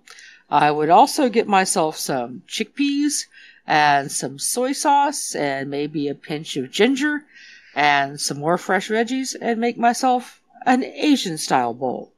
I would take my beans again and I would add some Cajun seasoning or Tony Chachere's um, Creole, Creole seasoning. seasoning. Yep, with some sauteed onion and bell peppers and make myself a Cajun rice and beans bowl. I would make myself some lentils with a can of tomato sauce and some ginger and some curry powder, and I would make a curry bowl. Extra bonus points if you got some roasted uh, peppers. I mean, peppers. Good grief. Roasted potatoes on hand and some peas. Uh, pea and pepper curry is a a big thing. It's it's a big recipe. Look them up. They're great swap them out, whatever. And lastly, but probably not leastly, I would use my rice and my lentils, pre cooked lentils, and literally stir them into a can of sloppy joe sauce because lentils make the greatest sloppy joes. And I'd have sloppy joe's sauce and lentils over rice. Those would be my tips for making plant based, easy, quick it's all based on the rice. Cook it up all once on your day off, portion them out, good to go. Those would be what I would make. I just want to say uh, thank you so much for your question, Frill Ho. An awesome name, by the way. For those who don't know, Frill Ho is a play is a is a Simpsons reference to Frill House. Really awesome account. Please give him a follow if you're on Twitter. Now, our next question comes from Nimblewill at Nimblewill on Counter Social, and they write, Meals that require little to no meat, using what's on hand when you're low on fresh fruit and vegetables. Okay, so if I'm low on fresh fruit and vegetables, I actually, I've got you here. If we want to go with no meat whatsoever and we don't have any fresh vegetables, one of the things I always keep, just always do, is sauerkraut. I keep that in my fridge, right? So I would get for my protein either beans or lentils, either one, cooked up. I would roast myself some potatoes and onions. I would toss myself some uh, sauerkraut on top of them, as well as some cooked and seasoned beans or lentils, and I would probably season them with something kind of umami ish, like a soy sauce or Worcestershire sauce, and do a th- think of the, the potato kraut and onion kielbasa sort of sheet pan dinners. But instead of the kielbasa, I would just put in beans or lentils. And thank you for your question at Nimblewill. At Mims on Counter Social Writes, veg recipes using Beyond Meat products or the like, please. Okay, full disclosure. I am in the tiniest of tiny towns. And the town where I buy my groceries is about 25 miles away the Walmart there is the only place that carries Beyond Meat. It's very hit and miss, and it is not inexpensive. So this is not anything that is in with my wheelhouse. I can tell you this. I like the taste of Beyond Meat. My preference on those rare occasions that I'm going to spring for fast food, my preference is like the uh, Impossible Burger at Burger King as opposed to the the regular ones. I I, I do love the way plant based meat tastes these days. It's become incredible. But I just don't cook with it because I can't access it and I can't afford it. However, I'm going to throw a, a, link here at Big Mike for him to put in the in the video. And someone here's got 20 minute plant-based lunches that will give you a more informed idea than what I could possibly do. And thank you very much for your question at MEMS. Now, our final question comes from Inzi Inzi Who Inzi Zoo on Counter Social, and they ask how to reduce food loss, which is reaching horrifying levels. You are not kidding. Oh my gosh, I hate wasting food here so much. And I'll tell you something. Every cuisine, including like your basic American cuisine, Southern cuisine, every cuisine has something in it that is a kitchen sink recipe. And what I mean by that is like the like the American version of a kitchen sink recipe is you save as you're going through your your week. You save your leftover green beans from one meal. You got a couple of potatoes from another meal. You just save them all up and you chunk them in a pot with some chicken broth and make soup or veggie broth, you know, whatever your preference is there. And make soup. That that is one thing. But other cultures have different kitchen sink meals. Uh, fried rice is a kitchen sink meal. You put whatever you've got into it and fry it up and add an egg and some soy sauce and you're good to go, right? So I would do soups, stews, things in like casserole kinds of dishes with my leftovers. And this is also not only leftover food that you've pre cooked, but this is a great way, especially with soups. I love soup. I just, I, I adore it because it is, it's almost a feeling more than it's a recipe. But I talked earlier about getting the Knorr chicken powders and stuff like that. If you want to make your own broth, that's great. I do that too. Um, full disclosure, I like to keep my vegetable peels and scraps and stuff and make vegetable broth on my stove. Um, and then freeze it in ice trays and put it in a Ziploc bag and pull it out to use when I want it. But get yourself some flavorful broth. However you arrive at that, you arrive at that.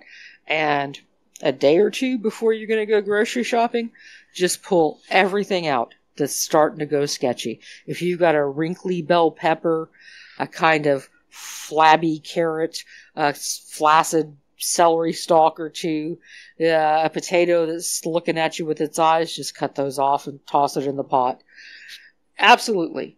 Clean out your fridge once every week or two right before grocery day and make a big old pot of soup. And with a good piece of crusty bread, that's a darn good meal. Just remember, you want to use your seasonings, and you want to tailor it to your family's palate, and you want to cook it with pride and with love. This isn't trash you're putting in a pot that you otherwise would discard. This is you making the most out of what you have and making a delicious meal for your family because you care about them. Right, and that's going to do it for our Q&A session. Thank you so much, Enzi Zoo. Please forgive me for mispronouncing your name. Thank you so much for your questions, and thank everybody for their questions. We really do appreciate them. Now, I want to turn it over to you, Bestie. Do you have any questions for me? Yes, I do, Mike. What have you got in this series that I, I can look forward to next, and what you got coming down the pipeline for me. Because it's for me specifically. You make your content for me. I already know that. Yeah, I, do in fact make my content. Yeah, just for But uh, but I would say exactly that is the whole point. Well, two things. Well, two things here. Well, in regards to uh, in regards to this series specifically, uh, Coffee with Big Mike. I do have some pretty uh, some pretty big content coming up. Um, I do have some pretty exclusive content coming up as well. However, in regard to this initiative, the Big Mike Libin initiative, this is actually my first video in that, and this uh, this, this is going to be an initiative that's going to uh, span across all my content or most of my content types on my channel. Um, and it, the driving philosophy behind it is to share knowledge and resources to help us, you know, you know, to live better lives, to help better educate us. Like, uh, you know, the whole purpose of this video is to help us be able to be able to eat healthy and affordable. So I do have more content coming in regards to that that are in various stages of production. But I also, even though this is the first video, um, however, I also have three earlier videos I'm adding to this as well. My uh, one of the previous episodes I did, or the last, uh, or one I'm sorry, one of the previous episodes I did, I did an episode with our friend Kit, who is the admin for Travel with Confidence. And so that episode was about traveling, travel advice, travel experience, you know, travel stories. Many people dream of traveling, you know, traveling around the country, around the globe, and so many people may find that educational. But I made that interview before I had the idea for this initiative, so that that that episode wasn't made with the intent of this. It's just luckily just kind of lucked up, and it happens to have fit with that theme. Now, also, I have some previous content as well. Uh, my Freeloader Gaming series. The very first video I ever made, I did a an, an episode of Freeloader Gaming where I well, first off, Freeloader Gaming is a series where I show you how and where to play games legally for free. And the very first episode I did was for a site or for a platform called Antstream, and that's included. And also, uh, my big passion video last year for my channel was my Sage, my Freeloader Gaming Sage video. And both of those videos, you know, show you different places, uh, two very different places, and featuring two at least two very different styles of games that you can play legally for free. So that content is already available, and I got some more in the works, including what I'm hoping is going to be my big passion video for this uh, for this season of my content as well. Um, and you can expect more and more. Also, I have some content. I have some content, you know, in the works. I'm, I'm talking to some people behind the scenes, some some people I'm friends with or close to in real life, and also some connections I made throughout my, you know, 35 plus years, almost 36 plus years of being alive, trying to uh, uh, contacts I made, uh, contacts I made during that time to with people who are knowledge knowledgeable in various you know fields. I feel like it's useful to to know. So I have some solo content coming. Um, I have some content on the way, uh, and this initiative is also coming with other people as well. So stay tuned for that, and I am very much excited for that. Now, outside of my big night, my outside of my Big Mike Living initiative, I also have content. I have more gaming content coming. I have more. Well, I'm not sure when this video is actually going to come out, but I, you know, I'm steadily following uh, the David Grusch situation. Um, you know, the the, con- the congressional investigation, the congressional hearing on the UFO UAP. Um, you know, uh, happenings as well. And I plan on to continue, you know, following that and to branch out and to deal with related subjects as well once the David Grusch story finally, finally settles down. And in addition to that, I plan to just continue covering, you know, covering, you know, in addition to games, covering some more series, uh, some TV series I like, and really just about anything I like, anything I want to, man, uh, or bestie, I should say. I I never want to put myself in a box when it comes to my content. I, I never want to say, okay, I'm only gonna make this type of content or that type of content. I want to I want to I want to always have myself in a situation to where if I wake up one day and I want to make this type of content, I, I can do that. And if I wake up one day and I say, hey, you know what? I don't want to do that anymore. I want to do something different. I can do that as well. Um, but I I don't mind. I don't mind making any kind of content as long as I'm passionate about what I'm doing. But I never want to be known as oh, this is this is this guy or he's this type of video guy or he's that type of video guy. I want I want my content to transcend. Um, so, in short, I have a lot of stuff on the table, a lot of stuff planned, and a lot of stuff still in various stages of development. So I have a lot in, I have a lot going, and I look forward to entertaining all of you lovely guys, gals, non-binary pals, and waterfowl. Well, this waterfowl loves to game, as you know, and I have been avidly following your UFO series because you have got some good coverage of that, really good. And I'm not just saying that because he's my bestie. It's really good coverage. I try, I try to call it like I see it, fam. I try to call it like I see it. I I try if I feel like believers make a good you know I say it if I feel like the skeptics make a good point I said it as well and I I've kind of got some flack because of that. I feel like but that's just kind of who I am as a person you know I try to call things like I see it especially when a situation like this where a story is still developing and you know there, there's heated passion on both sides I try to keep myself neutral. I try to keep myself you know, my passions in check, and I try to approach this with a divorced uh, mentality. Uh, now, I sometimes I, am very much more successful at doing it than others. Um, as you may see uh, coming up pretty soon, or you're probably already seen by the time this video is out. Um, so yeah, but I appreciate your viewership, fam. I do appreciate it. You know it. I'm your number one goose. Now, before we go, do you have anything you'd like to say to our audience? Yes, I would like to say that wherever you are, whatever you are doing, however you are living, do what you can where you are and be proud of what you accomplish. If it's the slightest accomplishment ever, if you can get one good score on your grocery bill next week, you did great. If you are absolutely just baffled and confused and anxious about how you're going to put your food on the table or get through your week, when you do, give yourself credit for doing it. We don't give ourselves enough credit for the small wins. Life is not about algorithms and likes and curated pictures on Instagram or Twitter or anything else. Life is about living. Live as best you can. Give yourself credit where you do it. An 80 20 rule. If you can make it most of the time, you've done more than enough. Amen to that, fam. Let me tell you what, amen to that.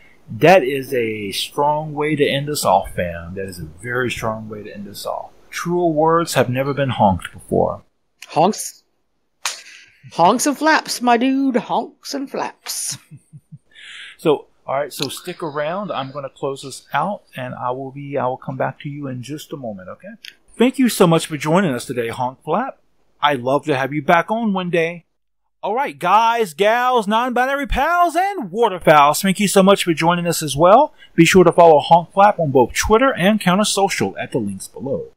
Special thanks to Fran, who does a wonderful job doing my art. She's back on Twitter, so please give her a follow. A special thanks to all my friends on Twitter. I wouldn't be here without you all. Uh, a special thanks to the lovely people of CounterSocial. The Q&A session would not have been possible without you lovely guys, gals, and non-binary pals. And most importantly, a special thank you to all of you for watching. Please like this video if you liked it, dislike it if you dislike it, feel free to comment below and let me know what you think. And if you like my content, please subscribe and turn your notifications on. Until next time, fam, remember, just be yourself and you'll be awesome. Peace out!